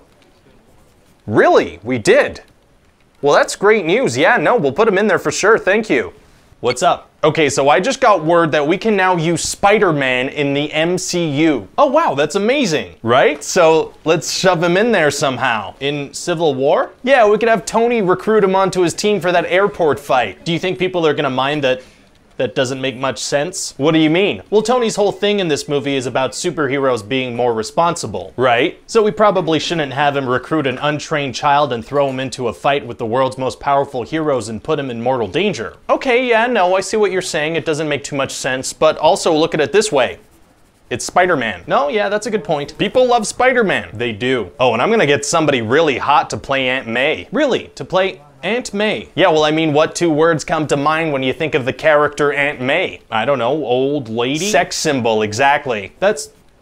Okay. Hey, while we're at it, let's throw Ant-Man in here. How would we do that? Just toss him onto Captain America's team. Wasn't his whole movie about not wanting to go to jail and jeopardize things with his daughter? Yeah, pretty much. But we're gonna have him jump onto the side of international fugitives, no questions asked. That's exactly right. Okay. Hey, toss Hawkeye in there too. But he retired to be with his family. Yeah, but here's the thing about that though.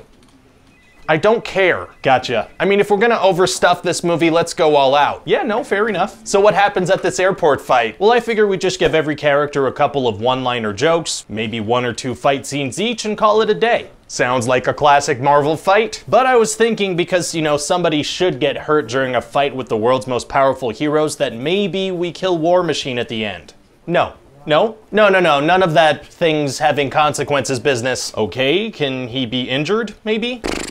It just feels like something should happen. Fine, he can get hurt, but he has to be in recovery at the end of the movie. Thank you. But that's it though, no more consequences. I promise nothing else will have much impact on anything at all. Good. So how does it end? Well, you know that bad guy I mentioned earlier? Yeah? Well, he's gonna have this thing where other than a minor hiccup at the beginning, everything's just gonna kind of go his way. What do you mean? Okay, so because Natasha released some Hydra files, he knows that something happened in 1991 involving the Winter Soldier. So he tries to find out what it is by interrogating this Hydra dude, but it doesn't work. The hiccup? Right, but from that point on, everything's gonna be super easy, barely an inconvenience. I'm listening. So he decides he needs to interrogate Bucky himself, but Bucky is in hiding. So he bombs the United Nations and frames Bucky to kind of flush him out. Wouldn't being framed just send him deeper into hiding? You'd think so, but it works almost immediately immediately. Oh, wow. Yeah, so then Zemo kills a psychiatrist that's supposed to interview Bucky and takes his place. Isn't anyone familiar with the psychiatrist they hired, or at the very least know what he looks like? You'd think so, but luckily for Zemo, apparently nobody does. Okay. Then he finds out what the 1991 thing was, and luckily for him, it involves the Winter Soldier and Tony's parents. That's convenient. Very. And then luckily for him, Captain America decides to go against everybody, and somehow he and Bucky manage to escape together. Hmm. Then luckily for Zemo, everybody follows him to Siberia. And there's an actual videotape of Bucky killing Tony's parents in 1991 because luckily for him, there was a security camera in that exact spot in the middle of a forest road and for some reason Hydra decided to keep it in their records. And then Tony sees it and luckily for him, even though Tony now knows that the Winter Soldier was brainwashed and framed and not actually responsible, he immediately loses his mind and tries to kill both Bucky and Cap. Wow, that's all super lucky. So then there's a fight, but at the last minute, Cap doesn't kill Tony. You're damn right he doesn't. So then they're like, well, we're not friends anymore anymore, but also we're still friends and call me anytime. I love it. You think it's gonna do well? Well, I'm looking at this as kind of a test. What do you mean? I have this theory that stuffing more and more characters into our movies translates to more money at the box office. Interesting. Yeah, and so if this movie does well, we can just go crazy with it. Fingers crossed.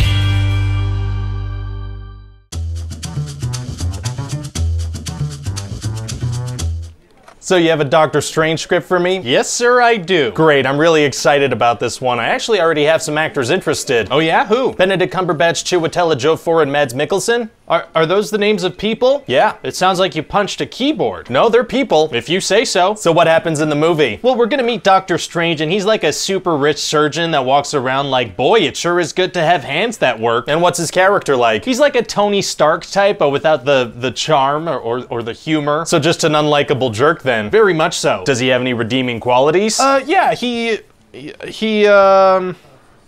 No, he's he's just a jerk. Gotcha. So anyway, he's gonna crash his fancy car because he was checking his phone, and that's gonna lead to the whole plot of the movie. Wow, that's a pretty powerful message for kids and teens. Yeah, that's true. You shouldn't use your phone while driving. But if you do, you'll get to become a superhero. Oh no, that's not really what I. You'll get to join the Avengers and become a wizard. I'm not really going for that message though. Just be mean to everyone and drive recklessly. You'll learn magic. Okay, so anyway, the accident is gonna mess up his hands, and so he's gonna become even more unlikable. Okay. So then this guy tells him about these people that helped him heal himself spiritually. So Doctor Strange is like, awesome. That does sound awesome. So Doctor Strange goes to see these people and they're like, we can help you heal yourself. And he's like, you guys are some goddamn liars up in here. Kinda did a 180 on that one. Yeah, and this dude Mordo is like, forget everything you know. And then Doctor Strange forgets how to breathe and he dies? No, that doesn't happen. Okay, so he doesn't forget everything. No, he remembers how to breathe breathe. Say that then. Okay, so anyway, then this character called the Ancient One punches a ghost out of his chest and then sends him into an iTunes visualizer. So then he believes in all the stuff. So then he believes in all the stuff. Wow. And then characters are gonna explain magic to him for about an hour. And is there a bad guy in this movie? Yeah, there's this evil sorcerer named Kaecilius. Oh, an evil sorcerer like Voldemort. No, no, no, he's nothing like Voldemort. Oh, no, he's just a super powerful magical antagonist with a weird name that went to the same school of witchcraft and wizardry as the protagonist and has an intense obsession with immortality. That sounds like Voldemort. No, this guy has a nose. Oh, he has a nose. Okay, that doesn't sound like Voldemort at all. Voldemort doesn't have a nose. There you go. So what's this guy's plan? Well, he wants to open the dark dimension and let in this evil being named Dormammu. Okay. So he steals some pages from this magic book that let him do that. Why doesn't he just take the whole book? Well, he just needs those pages. Right, but doesn't stealing those specific pages let the good guys know exactly what his plan is? It does. Huh. Also, Doctor Strange is gonna use the rest of the book to learn exactly how to save the day. So he really should have taken the whole book. Yeah, or like made photocopies of the pages he needed. This guy's pretty dumb. He's not the brightest. But are there gonna be some cool fight scenes? Oh yeah, mind-blowing fight scenes. It's gonna be like some raccoons in bathrobes are chasing Doctor Strange through a kaleidoscope. Very cool, but I mean this guy's super powerful. It's gonna be hard for Doctor Strange to fight him. No, super easy, barely an inconvenience. How so? Well, as he's fighting him, he suddenly gets some help from a cape. Oh, capes are tight. Yeah, this is a cool cape with a feisty personality. So does this cape help him fight throughout the rest of the movie? Well, it's gonna help him in that scene, and then we're mostly gonna forget about it, and he'll just kind of wear it. Fair enough. Also, Doctor Strange is gonna get stabbed. Uh-oh, is it bad? It's bad enough that he's gonna die on an operating table. Oh my god. Yeah, but then he's gonna get zapped with a defibrillator that's gonna 100% cure him. Must be a pretty good defibrillator. Yeah, I mean, it completely fixes a fatal stab wound, so I'd say it's pretty good. So how does the movie end? Well, Doctor Strange is gonna go see Dormammu and be like, Dormammu, I've come to bargain. Okay. And then he's gonna be like, Dormammu, I've come to bargain. Right. And then he's gonna be like, Dormammu, I've come to bargain. Then what does he say? Dormammu, I've come to bargain. And then? Well, I don't know the script by heart. Right, of course. But essentially, he traps Dormammu in a time loop until Dormammu decides to leave. Well, good. Yeah. So now Doctor Strange can use the time thing to fix all the problems in the MCU. No, he can't. Why not? Because of vague consequences. Oh, that sounds bad. Yeah, it is. Maybe. So about this Ancient One. Yeah? What's that character like in the comics, just so I know for casting? The Ancient One is like this wise old Tibetan monk. Oh, okay, I know just who to get. Oh yeah? Yeah, Tilda Swinton, she'd be perfect. That's not at all what I described. Yeah, well, I don't think anyone's gonna mind.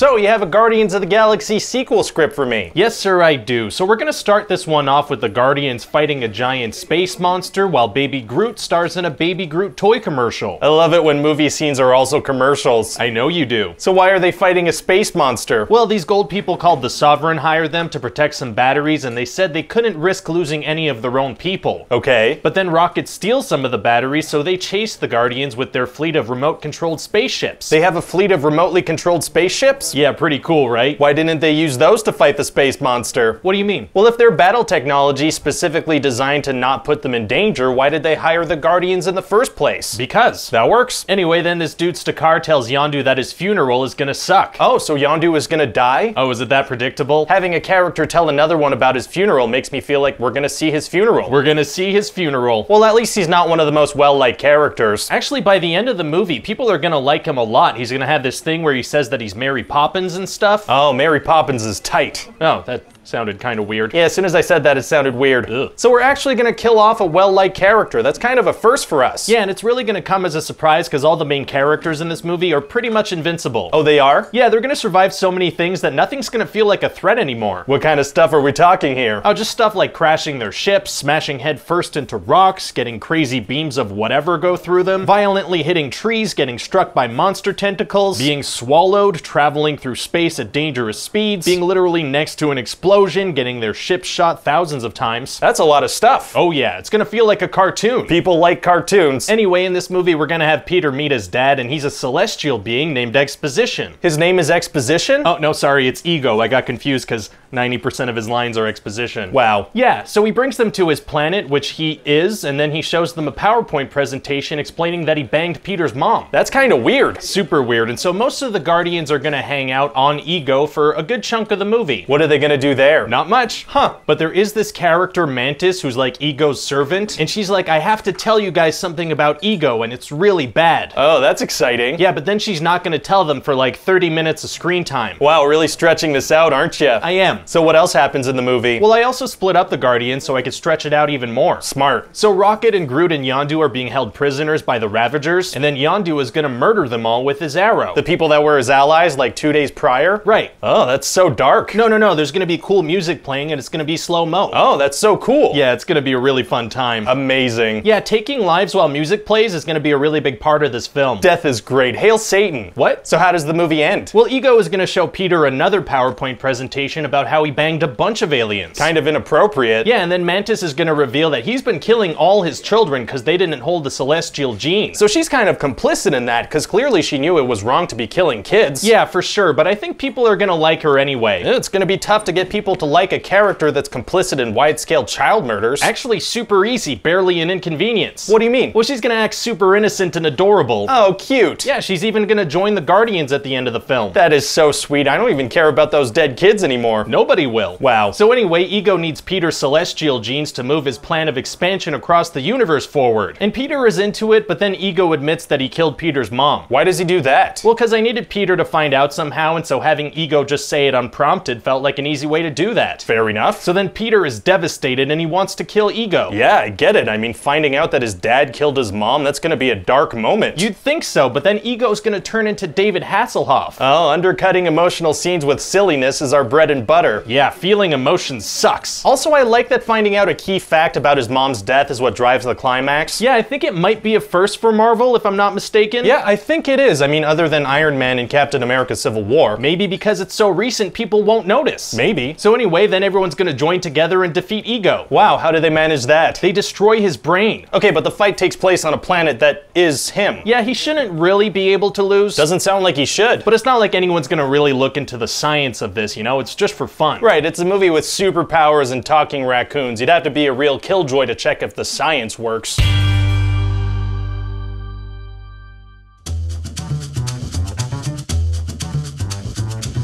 So what's the movie about? Well, it takes place a couple of months after Civil War. Okay, so Tony Stark has just made a big deal about superheroes having to be responsible. Exactly. So at the beginning of this movie, Tony leaves a weaponized spider suit with a high school student and then doesn't take his calls. Oh, very cool. Yeah, and it's equipped with a ton of crazy stuff. There's a bunch of web modes, a recon drone, glider wings, web grenades, even an instant kill mode that kind of turns on by itself. And Tony just leaves that in the hands of a teenager. Well, he left a software block on the crazier stuff. Oh, so it's impossible for Peter to access those modes. Actually super easy, barely an inconvenience. Really? Yeah, well, Peter's friend Ned from high school hacks into the suit and just unblocks everything. Oh, hacking. They also take a tracker out so Tony and Happy can't see where he goes. So Stark Technology's like the best in the world. This Ned guy must be really smart. Eh, he's not. I mean, I guess technically he is, but we're gonna play him as really dumb. Oh, interesting. Yeah, like in the first part of the movie, he keeps loudly asking Peter super sensitive questions. Oh, that's dumb. Yeah, you'd think that would be a no-brainer for anyone, right? And he's able to hack Stark Tech. He is, so Peter has access to a bunch of functionalities. Interesting. Yeah, and it was really fun to write because whenever I didn't know how to solve a problem in a scene, I was like, oh,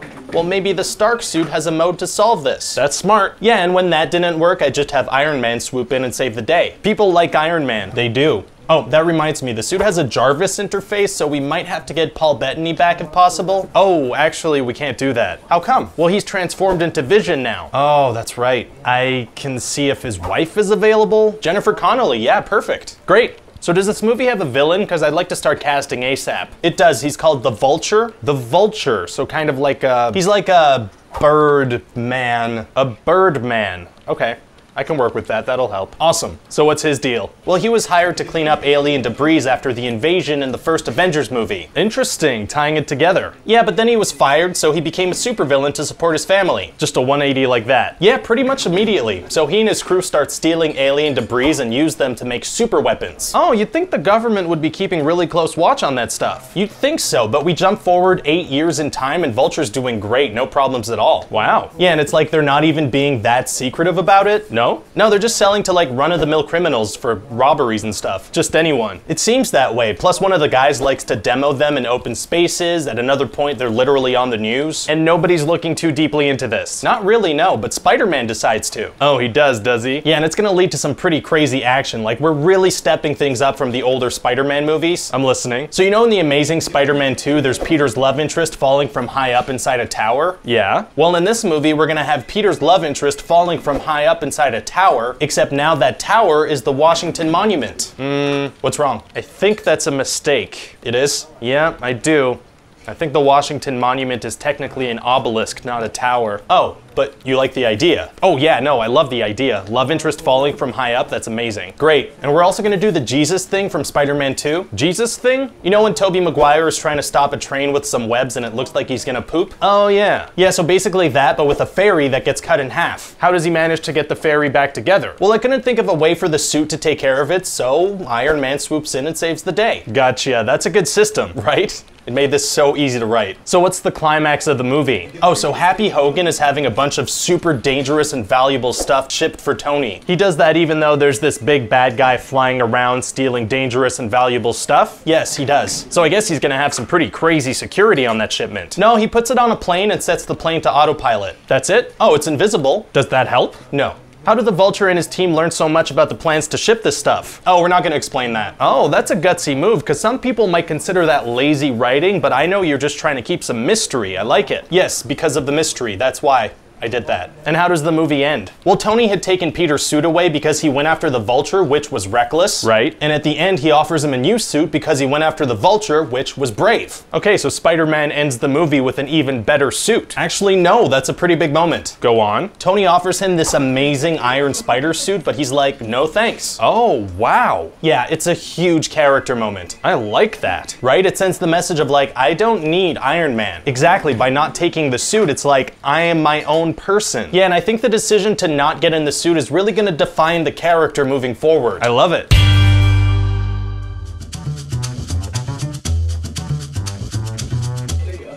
Okay, so tell me about this Thor script. Right, so it's called Ragnarok. Bless you. No, Ragnarok basically means the apocalypse on Asgard. Oh.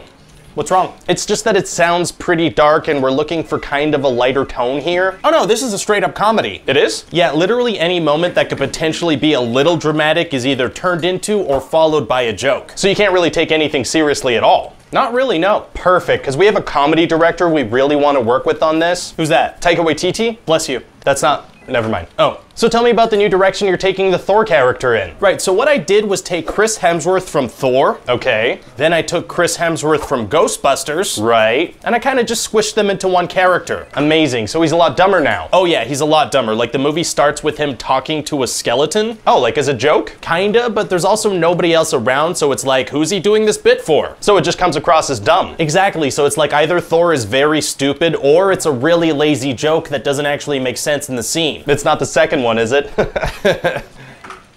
So listen, before we get too deep into the story, we do have to address a big plot thread from the last Thor movie, Loki. Yeah, he's impersonating his father and ruling Asgard. I imagine it's gonna be pretty hard for Thor to deal with. Actually super easy, barely an inconvenience. Oh, what happens? Well, Thor gets back to Asgard and he figures it out. That's like the first thing he does taken care of, just like that. So tell me about the story. Right, so the main villain in the movie is called Hela, and she's the goddess of death. Okay, now the main complaint about our movies is that the villains are kind of flat and one-dimensional, so what's Hela's deal? Oh, you're gonna like this. Basically, Hela's deal is that she is evil. Oh, that's good. Yeah, she's like super evil. Very, very evil. Sounds like the perfect villain. Yeah, and she wants to take over Asgard, so she does. She she does that. Very evil. And she's really strong, so she does it pretty easily too. Like she kills Thor's best friends like it was nothing. Oh, but Thor's gonna be devastated. You'd think so, but we're never gonna see him react to it, or like even find out, because that would be dramatic. Yeah, I really can't overstate how much potential drama we're gonna avoid here. That's what we want. Like in the middle of a spaceship battle, they're gonna talk about orgies. Great. Thor's whole relationship with Jane is like a throwaway joke now. Oh, she was important too. Yeah, super important. Wow. Also, Bruce Banner probably dies, but it's like really funny. Wait, Bruce Banner is in this? Oh yeah, I didn't tell you. The Hulk is like a big part of this movie. Interesting. Yeah, but instead of being a scary monster, now he's like a moody baby. A moody baby. I love it. Yeah, he talks like one and everything. Hey, that's what the people ask for. Is it?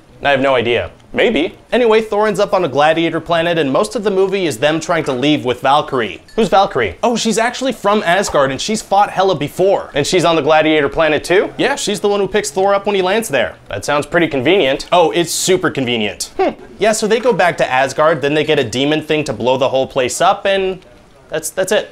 That's it? Can I see that? Sure. Thank you. Most of these pages are empty. Yeah, well, when I was writing, they were playing a Whose Line Is It Anyway marathon on TV, so I got a little distracted. Great show. But it got me thinking, why don't we just let the actors come up with a lot of this stuff and just kind of end every scene with Thor getting zapped unconscious? Oh, improv. I love it. Yeah, and it should be fun too, because you know how most movies have like one character that's the comic relief to break the tension? Mm-hmm. That's gonna be like every single character in this movie. Everybody. Yeah, like there's a character who's a pile of rocks, funniest guy in the film. Hey, there's a page here that just says Goldblum. Oh, yeah, there's a character called Grandmaster that I didn't really know how to develop. Oh, so you want me to get Jeff Goldblum to come be Jeff Goldblum? Yeah, I figured that would take care of that. That's smart. I'll see what I can do. Also, you'll see there's a page in there that just says the word cameo. Yep. I just thought it'd be really fun to have a super, super famous person show up for like no reason at all. For no reason at all. Exactly. So people in the audience will be like, hey, isn't that. Why is he. Why is he in this? I know just the guy to call. Awesome.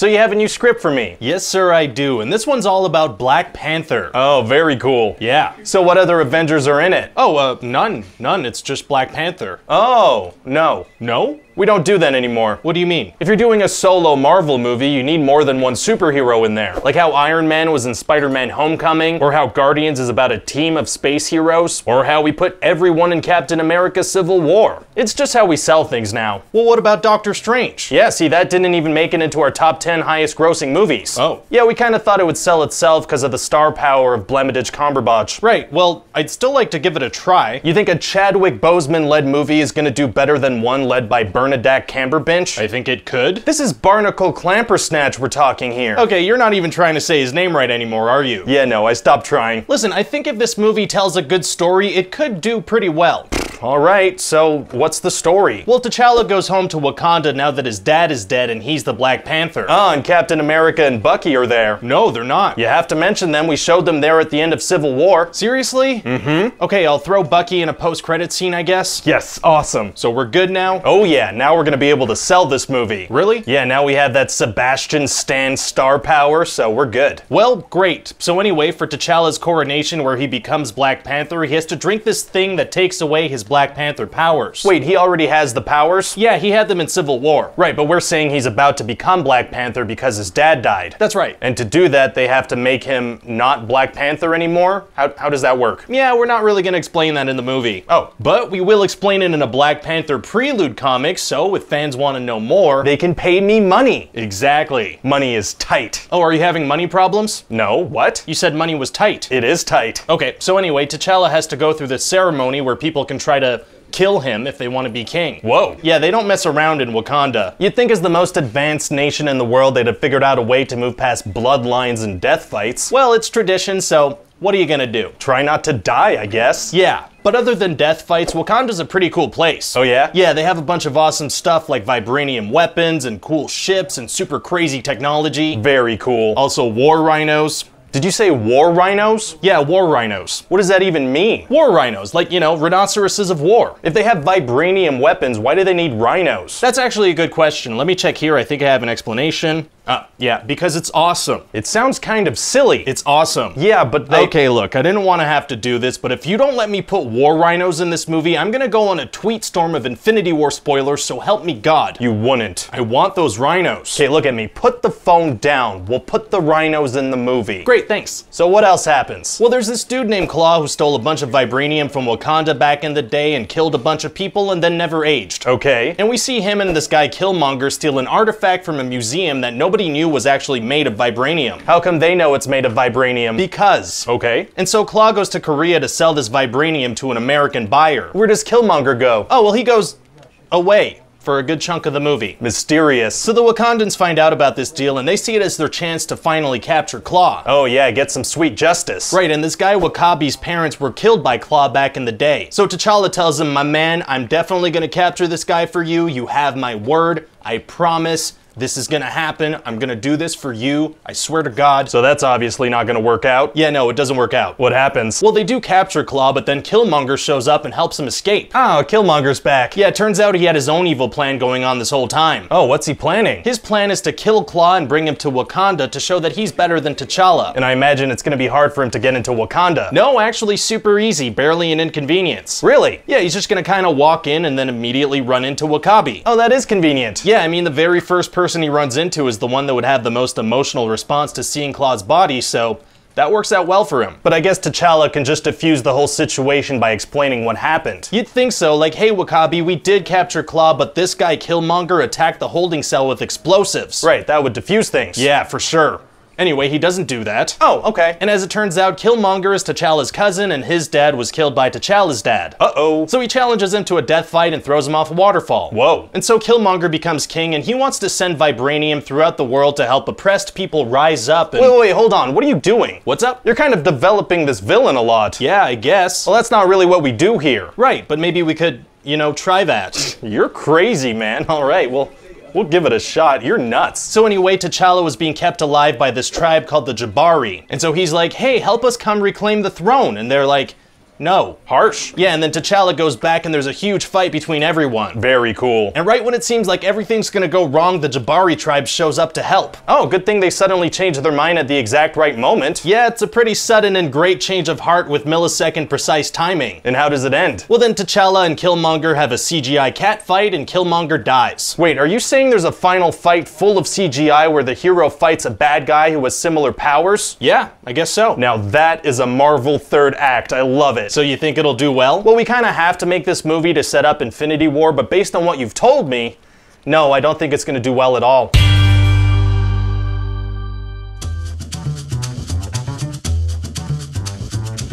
So you have that Avengers Infinity War script for me? Yes, sir, I do. And this one's all about a guy named Thanos who's trying to gather Infinity Stones. Oh, what's he like? Well, let's just say if Bruce Willis was a Pokemon, this is probably what he'd evolve into. Ooh, scary. Yeah, this movie's gonna get real dark. Sounds like stuff is getting serious. Oh yeah. I mean, you'll still have time for a quick lighthearted Ben & Jerry's commercial, right? Oh, Ben & Jerry's? Yeah, for sure. Okay, great, because I already cashed that check. I actually threw in a fair amount of jokes to balance out the darker moments. Keeping that Marvel vibe to it. What kind of jokes are we talking? Well, I had this idea that maybe some characters call other ones by names that aren't their real names, right? Right. And so, yeah, that'll be a lot of the jokes. I'm not sure I get it. Well, like Tony calls this bad guy Ebony Maw Squidward. Okay, yeah, I guess that's funny. And Thor calls Rocket Rabbit. Yeah, okay, he's not a rabbit. And Tony calls Star-Lord Mr. Lord. Uh-huh. And he also calls him Flash Gordon. Right. And Thor calls Groot Tree. All that character says is his own name. And Star-Lord calls Thanos Grimace. So you're like really leaning into this name thing. And Spider-Man's gonna think that Doctor Strange is a made-up name. Are people gonna notice that so many of the jokes are based on character names? I don't think so, unless some jerk on the internet points it out. Well, okay then. So tell me more about Thanos. You mean Pokemon Bruce Willis? Please stop making name jokes. That's not his real name. That's not his real name, yeah, I get the joke. Well, Pokemon Bruce Willis thinks that there aren't enough resources to go around, so he wants to destroy half of all life in the universe. Oh, wow. Does that include like plants and animals? Mm, I don't know, probably not because those are natural resources. What if there are planets where there are just plants and animals? I don't know, maybe half of them die in those cases? What if there's a planet where there's like a million animals and, and one dude? I don't know. Would half the animals die or would half that dude die? I don't know. Would his left side just go limp or something? I mean, I'm hoping people don't think about Thanos' plan this much. It's just something he wants to do real bad. Okay. It's more of a shut your brain off and enjoy kind of thing. Done and done. Anyway, Gamora's like, well, Thanos can't get the Soul Stone because I'm the only one who knows where it is. Okay, so she goes into hiding? No, she goes directly to him. What? I mean, she tells Star-Lord to kill her if Thanos manages to grab her. Still, that seems pretty irresponsible. Oh yeah, very much so. Huh. And Thanos has the Reality Stone, so he easily grabs Gamora from the Guardians. What does he use the Reality Stone for? More bubbles than you'd expect. Oh, bubbles are tight. But essentially, he can make whatever he wants become reality, so like Drax and Mantis turn into Slinkies and stuff. Well, that's game over, right? If he could turn everyone into Slinkies, that, that's game over. Yeah, he can literally alter reality. Wow. But he's not really gonna do it that much. Oh, why not? Because. Fair enough. Yeah. So is Doctor Strange gonna use the Time Stone to save the the day like at the end of his movie? No, he's not. How come? Because. Fair enough. Yeah, here's the thing. Based on the powers we've established for everybody, there's probably a lot of ways they could bring down Thanos. Yeah, it feels like fans are gonna point all of those out online. That's right, and that's why I included a scene I like to call Shut the Hell Up, Everyone. Oh, I like the sound of that. What is it? We're gonna have Doctor Strange look into the future and say that out of 14 million outcomes, he only sees them winning one. Oh, very smart. Yeah, so anytime someone online tries to criticize the movie, Somebody else will chime in like, well, it probably had to happen that way because that's the only way Doctor Strange saw them winning. exactly. Shut the hell up, everyone. there you go. So what else happens in the movie? Well, some of the characters blast a hole in a ship and Ebony Maw goes flying out into space. but then he flies back like Mary Poppins. no, I thought of that, but then I was like,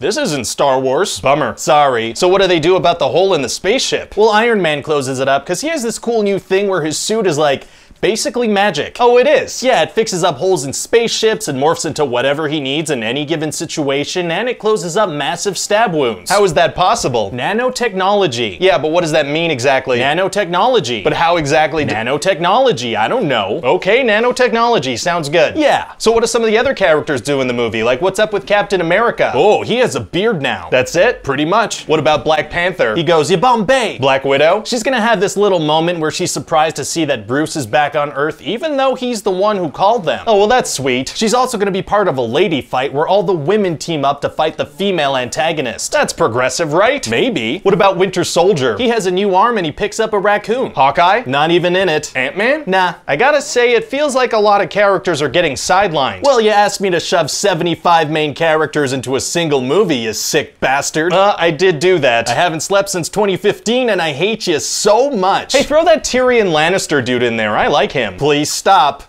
Please stop. All right, so you're gonna have everybody fight a big generic army of bad guys? That wouldn't be an Avengers movie without that. So what's this army gonna look like? Well, picture what it would look like if Venom took over Goro from Mortal Kombat. Okay. So yeah, like a million Venom Goros. Very cool. And how do the heroes end up stopping Thanos? Oh, they don't. what? Yeah, no, he's gonna get all the stones and erase half of all life in the universe. But it's gonna be hard to wrap up a movie if the bad guy wins. actually, super easy. Barely an in. Oh, you're disappearing. Okay, and and you're gone.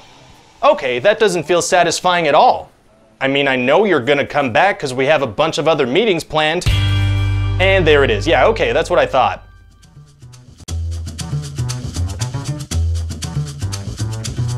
So you have a new superhero script for me? Yes, sir, I do. And it's kind of a sequel to all the movies we've done so far. So there's Captain America, Iron Man, Thor. Oh yeah, Thor's the one where we shot like half his movie in Dutch angles, right? Yeah, what was up with that? Was the tripod broken or something? One of the tripod legs was broken, that's right. I thought so. So who else is there? Well, in terms of superheroes, there's also Hulk, there's Spider-Man, there's... nope, not him. What? We can't have Spider-Man in there. Oh, how come? Well, we don't have the rights to the character. Ah, crap, that's right. Yeah, so unfortunately, we're never, ever, ever, ever, ever, ever gonna see Spider-Man in a Marvel Studios movie. You alright? What's up? You had like a weird eye twitch or something. You have something in your eye?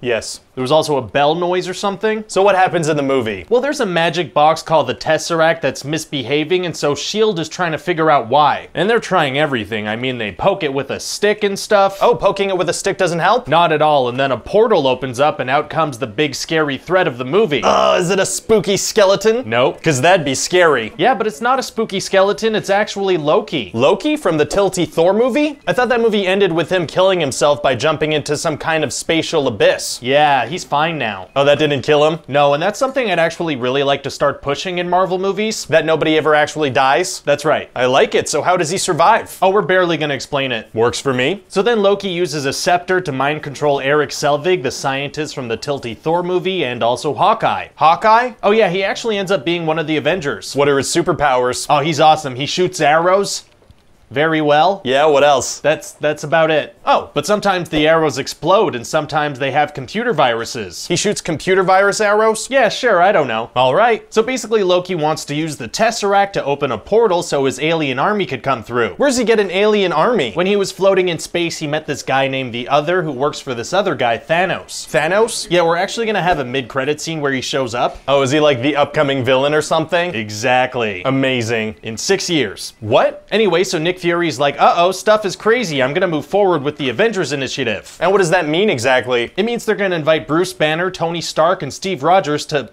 come hang out. That's his plan? Yeah, he figures if he could get them all in the same room, that'll kind of fix everything. Huh. Also, Natasha Romanoff from Iron Man 2 is there. Oh, Black Widow's in this. Yeah, so once again, she's gonna be in very tight leather, but this time doing even more action scenes. Oh, I bet that's gonna be uncomfortable for her. Oh, yeah, I'd say so. So what else happens? Well, Loki's gonna get captured by the Avengers, but then Thor is gonna show up and try to take him. How does Thor get back to Earth? Didn't he destroy the only way back at the end of his film? Yeah, we're barely gonna explain that. Gotcha. Well, I guess it's good that Thor's there now because they can get Jane Foster to help out. Why would they do that? Well, her and Erik Selvig are kind of the authorities on portal science, so if anyone can help out, it's her. Okay, yeah, that's a good idea, but but instead of doing that, they're gonna send her off to an island or something. Oh, Yeah, she's not even in this movie. It's more of a let's solve things with punching kind of movie. gotcha. So anyway, Thor and Iron Man and Captain America get into a fight over Loki. And so he escapes? No, he just kind of stands around and waits for them to finish up. Oh, doesn't that make them suspicious? That means he clearly wants to get captured. Yeah, but they still bring him onto the helicarrier thing. Huh. So then it turns out that Loki's plan is to turn Bruce Banner into the Hulk. Oh, well, I guess Bruce wouldn't be stupid enough to get on an airplane if there was any danger of him turning. Well, to be fair, S.H.I.E.L.D. didn't tell him he was going to be on a plane. What? Why? Because it was a fun little surprise. They were like, guess what? This boat's actually a plane. Whoa. That seems wildly irresponsible. oh, yeah. Huh. And then Loki kills this agent Phil Coulson. Oh, but you said people don't actually die. Yeah, no, I was thinking he could come back for like a spin off TV show or something. I love it. So now that Agent Coulson is dead, they have something to avenge, and so they become. The Avengers. That's right. the awesome thing about that is that that's the title of the movie. And so then a generic alien army come through the portal, and the Avengers punch them for 30 minutes. punching is tight. Yeah, and then S.H.I.E.L.D. is like, let's nuke the city. What? They immediately resort to nukes, I don't know. Seems drastic. Oh, yeah, so then Tony takes the nuke into space and blows up the mothership, which he knew was there for some reason. Amazing. And so then all the aliens die all at once. Why? Well, the ship blew up. Why does that affect them? Because. Okay. And so,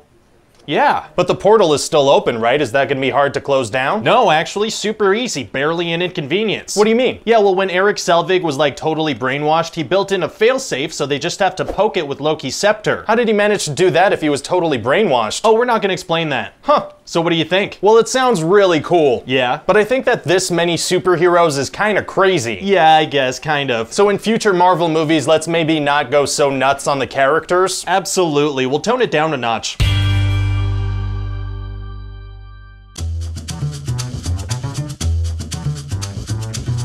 So you have a new Avengers script for me? Yes, sir, I do. And this one starts off with the Avengers doing some super awesome uh, murders. Oh, it does. Yeah, it's gonna be like 10 solid minutes of the Avengers murdering and cracking jokes and murdering and cracking jokes. That is so cool. yeah. And how are the Avengers getting along without Tony? Oh, well, he's right there with them. Didn't he kind of retire at the end of Iron Man 3? Yeah, that's right. So what explanation are we giving for his return? None whatsoever. Huh. So what's the movie about? Well, it's called Age of Ultron. Oh, Age of Ultron? So this takes place over several years? Yeah, no, just a couple of days. Oh, do you know what the word age means? I do not. I do not. It's a tough word. Yeah, sounds cool though. Age of Ultron. It does sound cool. So anyway, using Loki's scepter, Iron Man wants to create an AI called Ultron that can achieve peace in our time. Oh, that's nice. Yeah, but then Ultron understands his purpose as, oh, I need to murder everyone. Whoopsie. So Ultron attacks the Avengers while they're getting drunk and then escapes through the internet. He escapes through the internet. Yeah, so now he has access to every system on Earth except nukes. Oh, that's cool. So what's his plan? Is he gonna like take down the electrical grid? Nope. Something with the water supply? Nuh-uh. Air traffic control? Nope. All of the Avengers' super advanced technology? No, those sound like good ideas, but what he really plans on doing is making a city fly and throwing it down to Earth. Oh, you'd think a genius AI would be able to think of a better plan than that. You'd think so, but he's really into the city throwing idea. Interesting. So anyway, Ultron is this super scary, super intimidating robot. You should have him crack jokes like Loki. What? People love Loki. Yeah, but why would a robot crack jokes? So he could be more like Loki. Okay, but People love Loki. oh, is this so you can sell Ultron toys to kids? Maybe. We sold a lot of Loki toys. Well, why didn't you say so? The movie's already a big commercial anyway. Ugh, I love you so much. oh, stop. what kind of commercials are we talking? Well, for example, the Hulk listens to music to calm down, right? okay. On his wireless Beats by Dre headphones. Oh, awesome. That's a product. Or like Hawkeye and Black Widow drive around, right? Yeah. In a brand new state state-of-the-art Audi. That's amazing. That's a product. We also find out what Iron Man likes to wear under his armor. Uh-huh. Any idea what brand he wears under his armor? No idea. He wears Under Armour under his armor. You just blew my mind. That's a product. And the movie's not just a commercial for products, it's also a commercial for movies. What other movies? Our future movies. How'd you do that? Well, we're introducing this character named Scarlet Witch that gives people visions. Okay. And so she gives Thor a vision that's a setup for Thor 3. Wow. And she gives Tony a vision that's a setup for Avengers 3. I love it. So what else happens in the movie? Well, after the witch gives people a bunch of visions, she makes the Hulk go crazy and so Tony has to stop him. How does he manage that? He developed this new super powerful Hulkbuster armor and so they just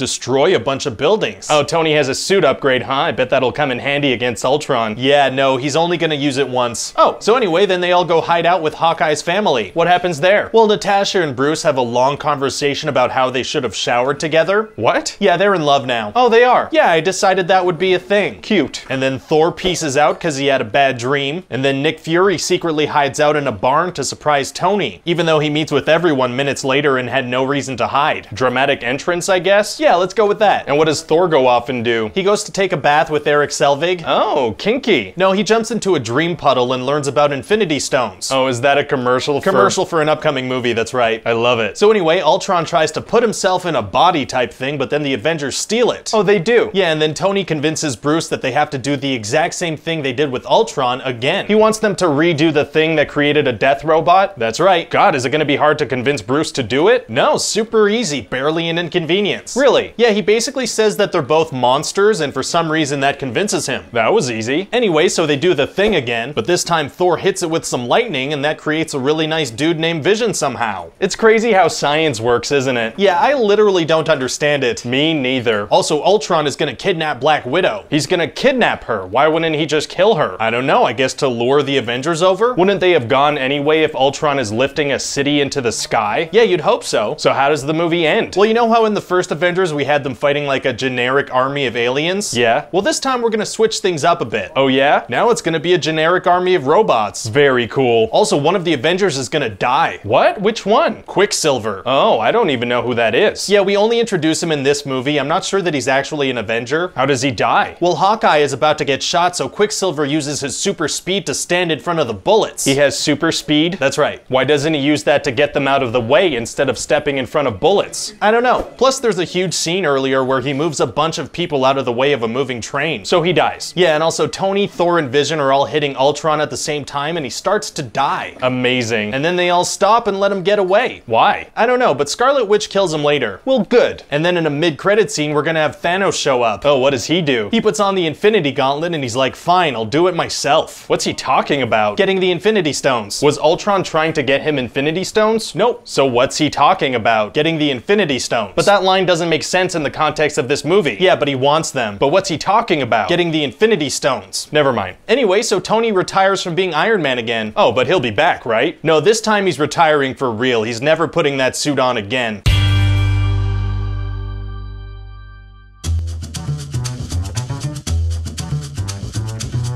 So you're here to talk about Ant-Man. Yes, sir, I am. Cool. So, uh, do you need your parking validated or something? What? Make sure you pull on the door on your way out because it looks like a push, but it's actually a pull. Don't, don't, don't you want me to pitch to you? oh, you're you're not leaving? I wasn't planning on it. Wow. Well, awesome. We had a lot of people leave the project, so I just kind of assumed. Wow, bummer. Yeah. So, you know, please don't leave me. You're my last hope. Sounds good. Please. Okay. So, what's the story about? Well, you know how in the first Iron Man movie, there's a character that develops a super suit, and then he's like, oh, this is too powerful to get out. But then a corporate bad guy from the same company wants to sell it and then makes his own evil version of the suit. And so you end up with a big final fight of nice guy super suit versus evil guy super suit. yeah. So what I'd like to do is that. Well, if it ain't broke, you know, keep doing it till it stops making money. That's what I figured. so tell me about the characters. Well, first of all, there's Hank Pym. He's the one that invented the shrinking technology, and he used to be Ant-Man. How's that technology gonna work? Inconsistently. Oh. Yeah, we're gonna say that it reduces the space between atoms so objects keep their mass, but then we're gonna do a bunch of stuff that contradicts that. How so? Well, sometimes Ant-Man's gonna have the mass and force of a full-grown man, but other times he'll be light enough to run on a gun barrel or ride an ant. And Hank Pym is gonna have an actual tank as a keychain, which should weigh about 60 tons. Why so inconsistent? Well, I wanted to do certain things because they would look cool, but then I was like, oh, those totally break the rules that I myself established in the script. Yeah. But then I was like,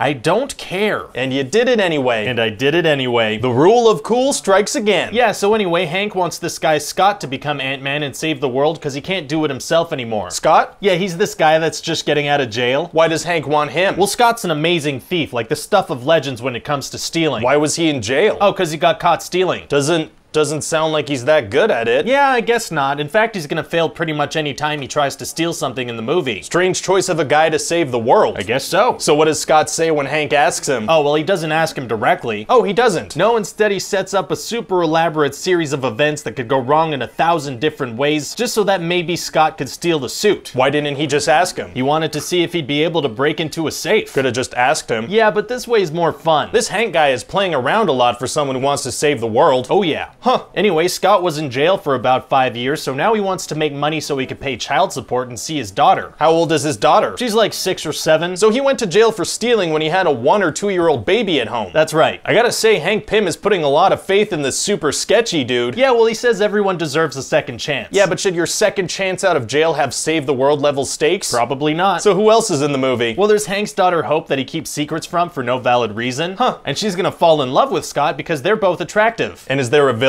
in the movie? Oh yeah, we've got this villain Darren Cross, and he is evil. So what's his deal? I, I just told you. Oh, Yeah, just like a generic evil guy, you know? that's what I'm talking about. so he wants to sell this yellow jacket suit to some evil military types. right, like an Iron Man. But one of them's not super interested. So Cross is gonna use his incomplete shrink tech to turn him into a tiny pile of goo and flush him down a toilet. Jesus, why doesn't he try selling that as a weapon? That's horrifying. He doesn't think of that, I guess. Now, I hate to do this, but is there a way we could kind of tie this movie in with the Avengers? Oh, yeah, super easy, barely an inconvenience. Oh, yeah? Yeah, I'll just add like a little side quest where Ant-Man has to go get a thing and he'll end up fighting an Avenger. I love it. What Avenger did you have in mind? well, Iron Man would be cool. yeah, if you want to double the movie's budget. Oh, does Robert Downey Jr. cost a lot? You're damn right he does. That guy's contracts basically drain money from our bank accounts. Oh, wow. Did you know that according to his last contract, we have to pay him every time he uses our bathrooms? I didn't know that. Every time he poops in this building, it costs us a thousand bucks. Jeez. Yeah, I mean, it's not that bad of a deal. Yeah, it's kind of a steal when you think about it. So anyway, how does the movie end? Well, Darren Cross is going to end up figuring out the shrink tech and finishing his suit. Uh-oh. So the team is going to try to steal the technology from him, and it's going to end in this big fight between him and Scott in their little super suits. How's that gonna go? Well, despite having no training and never having been in the suit before, Cross is going to be like an expert fighter. Wow. And then Scott's going to go subatomic to kill him. subatomic? Yeah, like smaller than an atom. But you said the technology works by bringing atoms closer together. yeah, whatever. Okay. And then Scott's to be pardoned for all the illegal stuff he did, and he's to dedicate himself to his family. Yeah, I guess he's not gonna want to do anything that would jeopardize being able to see his daughter. That's the last thing he'd do.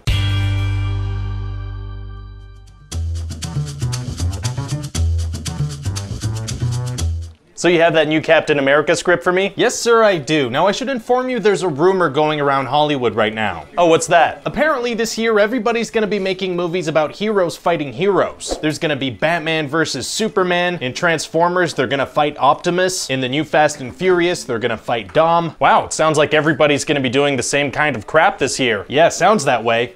So I figured we would too. Great, it's gonna be called Captain America Civil War. What's that gonna be like? It's gonna be like if a kid took out all his superhero toys and just started smashing them together. Sounds awesome. Yeah, so we're gonna have the government be mad at the Avengers about all the damage caused in Sokovia and Washington, D.C. and New York City. Wait, didn't the government try to nuke New York City? They did. And nobody's gonna bring that up? No, no, no. Okay. So anyway, they want the Avengers to sign the Sokovia Accords. That would give them all government oversight and kind of keep them in check. So Tony and some others are like, yeah, but Captain America and some others are like, no. Oh, the conflict is brewing. Yeah, it's pretty serious. It's like the Avengers are being torn up from the inside. Wow, so there's no need for a villain. Well, no, there is a villain. What does he want? For the Avengers to be torn up from the inside.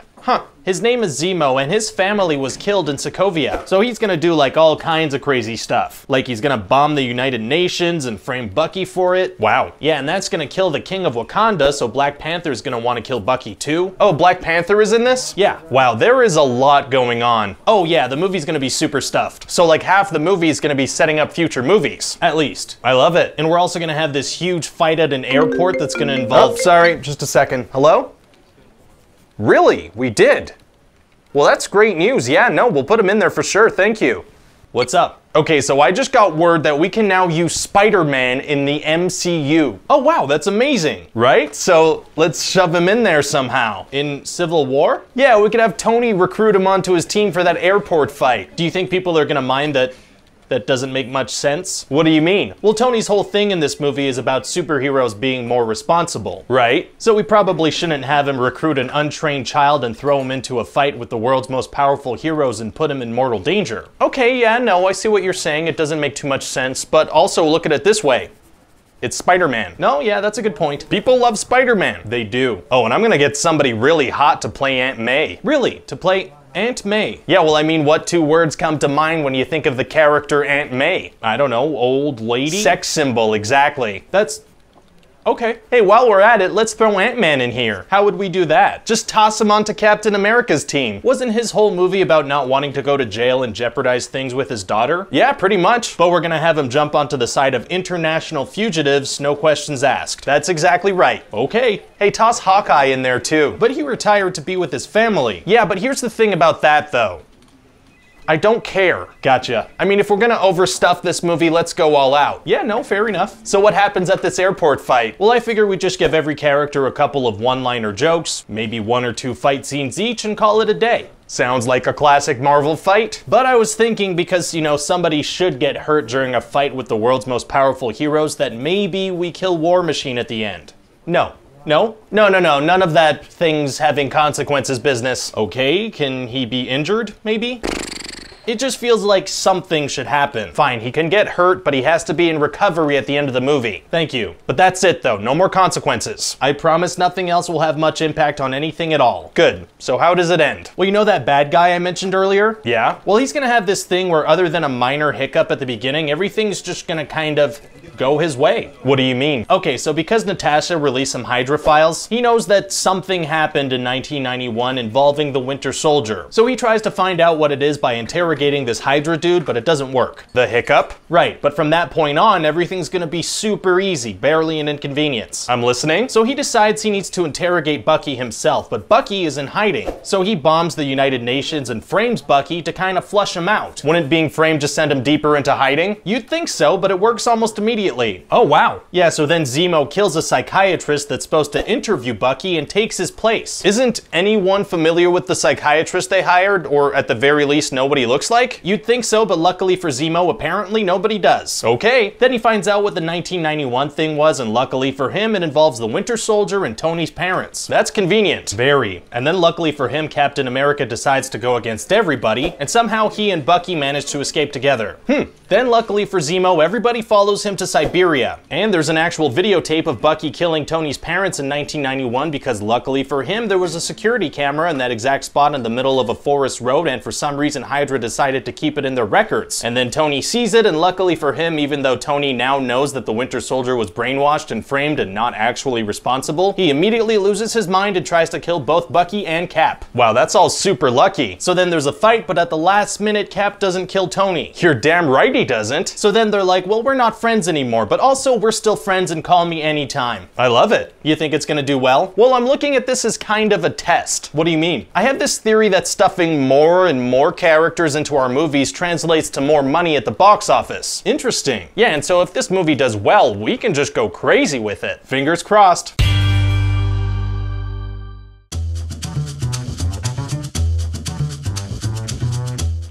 So you have a Doctor Strange script for me? Yes, sir, I do. Great, I'm really excited about this one. I actually already have some actors interested. Oh yeah, who? Benedict Cumberbatch, Chiwetel Ejiofor, and Mads Mikkelsen. Are, are those the names of people? Yeah. It sounds like you punched a keyboard. No, they're people. If you say so. So what happens in the movie? Well, we're gonna meet Doctor Strange, and he's like a super rich surgeon that walks around like, boy, it sure is good to have hands that work. And what's his character like? He's like a Tony Stark type, but without the, the charm or, or, or the humor. So just an unlikable jerk then? Very much so. Does he have any redeeming qualities? Uh, yeah, he, he, um, No, he's he's just a jerk. Gotcha. So anyway, he's gonna crash his fancy car because he was checking his phone, and that's gonna lead to the whole plot of the movie. Wow, that's a pretty powerful message for kids and teens. Yeah, that's true. You shouldn't use your phone while driving. But if you do, you'll get to become a superhero. Oh no, that's not really what I. You'll get to join the Avengers and become a wizard. I'm not really going for that message though. Just be mean to everyone and drive recklessly. You'll learn magic. Okay, so anyway, the accident is gonna mess up his hands, and so he's gonna become even more unlikable. Okay. So then this guy tells him about these people that helped him heal himself spiritually. So Doctor Strange is like, awesome. That does sound awesome. So Doctor Strange goes to see these people, and they're like, we can help you heal yourself. And he's like, you guys are some goddamn liars up in here. Kinda did a 180 on that one. Yeah, and this dude Mordo is like, forget everything you know. And then Doctor Strange forgets how to breathe and he dies. No, that doesn't happen. Okay, so he doesn't forget everything. No, he remembers how to breathe.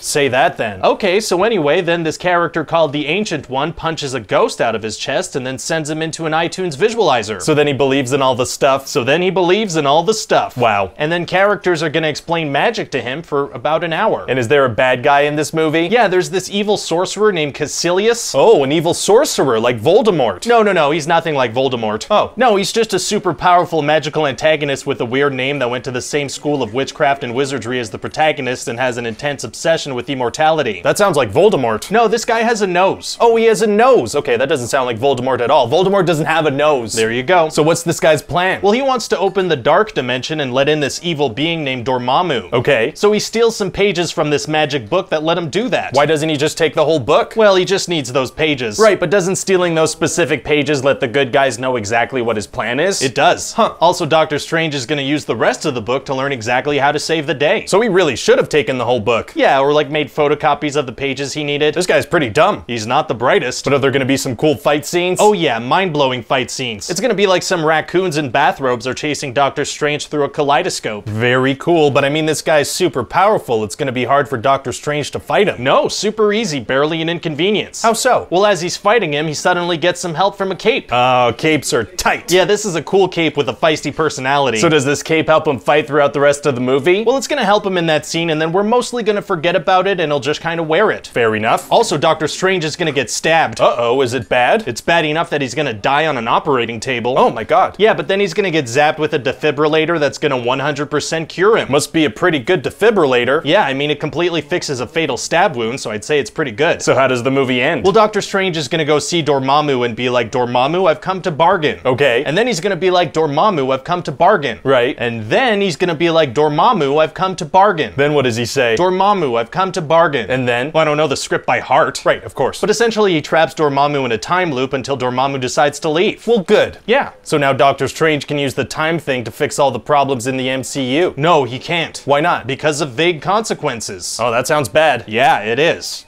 Maybe. So about this Ancient One. Yeah? What's that character like in the comics, just so I know for casting? The Ancient One is like this wise old Tibetan monk. Oh, okay, I know just who to get. Oh yeah? Yeah, Tilda Swinton, she'd be perfect. That's not at all what I described. Yeah, well, I don't think anyone's gonna mind.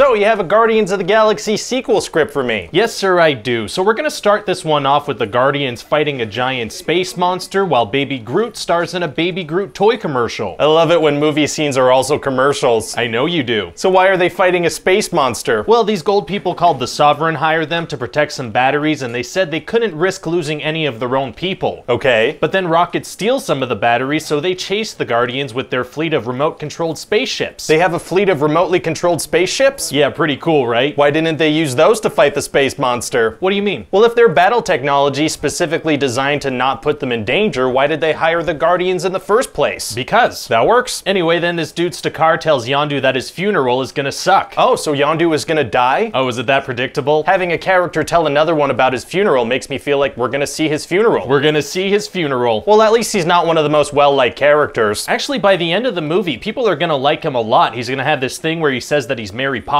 and stuff. Oh, Mary Poppins is tight. Oh, that Sounded kind of weird. Yeah, as soon as I said that, it sounded weird. Ugh. So we're actually gonna kill off a well-liked character. That's kind of a first for us. Yeah, and it's really gonna come as a surprise because all the main characters in this movie are pretty much invincible. Oh, they are? Yeah, they're gonna survive so many things that nothing's gonna feel like a threat anymore. What kind of stuff are we talking here? Oh, just stuff like crashing their ships, smashing headfirst into rocks, getting crazy beams of whatever go through them, violently hitting trees, getting struck by monster tentacles, being swallowed, traveling through space at dangerous speeds, being literally next to an explosion, getting their ship shot thousands of times. That's a lot of stuff. Oh yeah, it's gonna feel like a cartoon. People like cartoons. Anyway, in this movie, we're gonna have Peter meet his dad, and he's a celestial being named Exposition. His name is Exposition? Oh, no, sorry, it's Ego. I got confused because 90% of his lines are exposition. Wow. Yeah, so he brings them to his planet, which he is, and then he shows them a PowerPoint presentation explaining that he banged Peter's mom. That's kind of weird. Super weird, and so most of the Guardians are gonna hang out on Ego for a good chunk of the movie. What are they gonna do there? Not much. Huh. But there is this character, Mantis, who's like Ego's servant, and she's like, I have to tell you guys something about Ego, and it's really bad. Oh, that's exciting. yeah, but then she's not gonna tell them for like 30 minutes of screen time. Wow, really stretching this out, aren't you? I am. So what else happens in the movie? Well, I also split up the Guardians so I could stretch it out even more. smart. So Rocket and Groot and Yondu are being held prisoners by the Ravagers, and then Yondu is gonna murder them all with his arrow. The people that were his allies like two days prior? right. Oh, that's so dark. No, no, no, there's gonna be cool music playing and it's gonna be slow-mo. Oh, that's so cool. Yeah, it's gonna be a really fun time. Amazing. yeah, taking lives while music plays is gonna be a really big part of this film. Death is great. Hail Satan. What? So how does the movie end? well, Ego is gonna show Peter another PowerPoint presentation about how he banged a bunch of aliens. Kind of inappropriate. Yeah, and then Mantis is gonna reveal that he's been killing all his children because they didn't hold the celestial gene. So she's kind of complicit in that, because clearly she knew it was wrong to be killing kids. Yeah, for sure, but I think people are gonna like her anyway. It's gonna be tough to get people to like a character that's complicit in wide-scale child murders. Actually, super easy, barely an inconvenience. What do you mean? Well, she's gonna act super innocent and adorable. Oh, cute. yeah, she's even gonna join the Guardians at the end of the film. That is so sweet. I don't even care about those dead kids anymore. Nobody will. Wow. So anyway, Ego needs Peter's celestial genes to move his plan of expansion across the universe forward. And Peter is into it, but then Ego admits that he killed Peter's mom. Why does he do that? Well, because I needed Peter to find out somehow, and so having Ego just say it unprompted felt like an easy way to do that. Fair enough. So then Peter is devastated and he wants to kill Ego. yeah, I get it. I mean, finding out that his dad killed his mom, that's gonna be a dark moment. You'd think so, but then Ego's gonna turn into David Hasselhoff. Oh, undercutting emotional scenes with silliness is our bread and butter. yeah, feeling emotions sucks. Also, I like that finding out a key fact about his mom's death is what drives the climax. Yeah, I think it might be a first for Marvel, if I'm not mistaken. Yeah, I think it is. I mean, other than Iron Man and Captain America Civil War. Maybe because it's so recent, people won't notice. Maybe. So anyway, then everyone's gonna join together and defeat Ego. Wow, how do they manage that? They destroy his brain. Okay, but the fight takes place on a planet that is him. Yeah, he shouldn't really be able to lose. Doesn't sound like he should. but it's not like anyone's gonna really look into the science of this, you know? It's just for fun. Right, it's a movie with superpowers and talking raccoons. You'd have to be a real killjoy to check if the science works.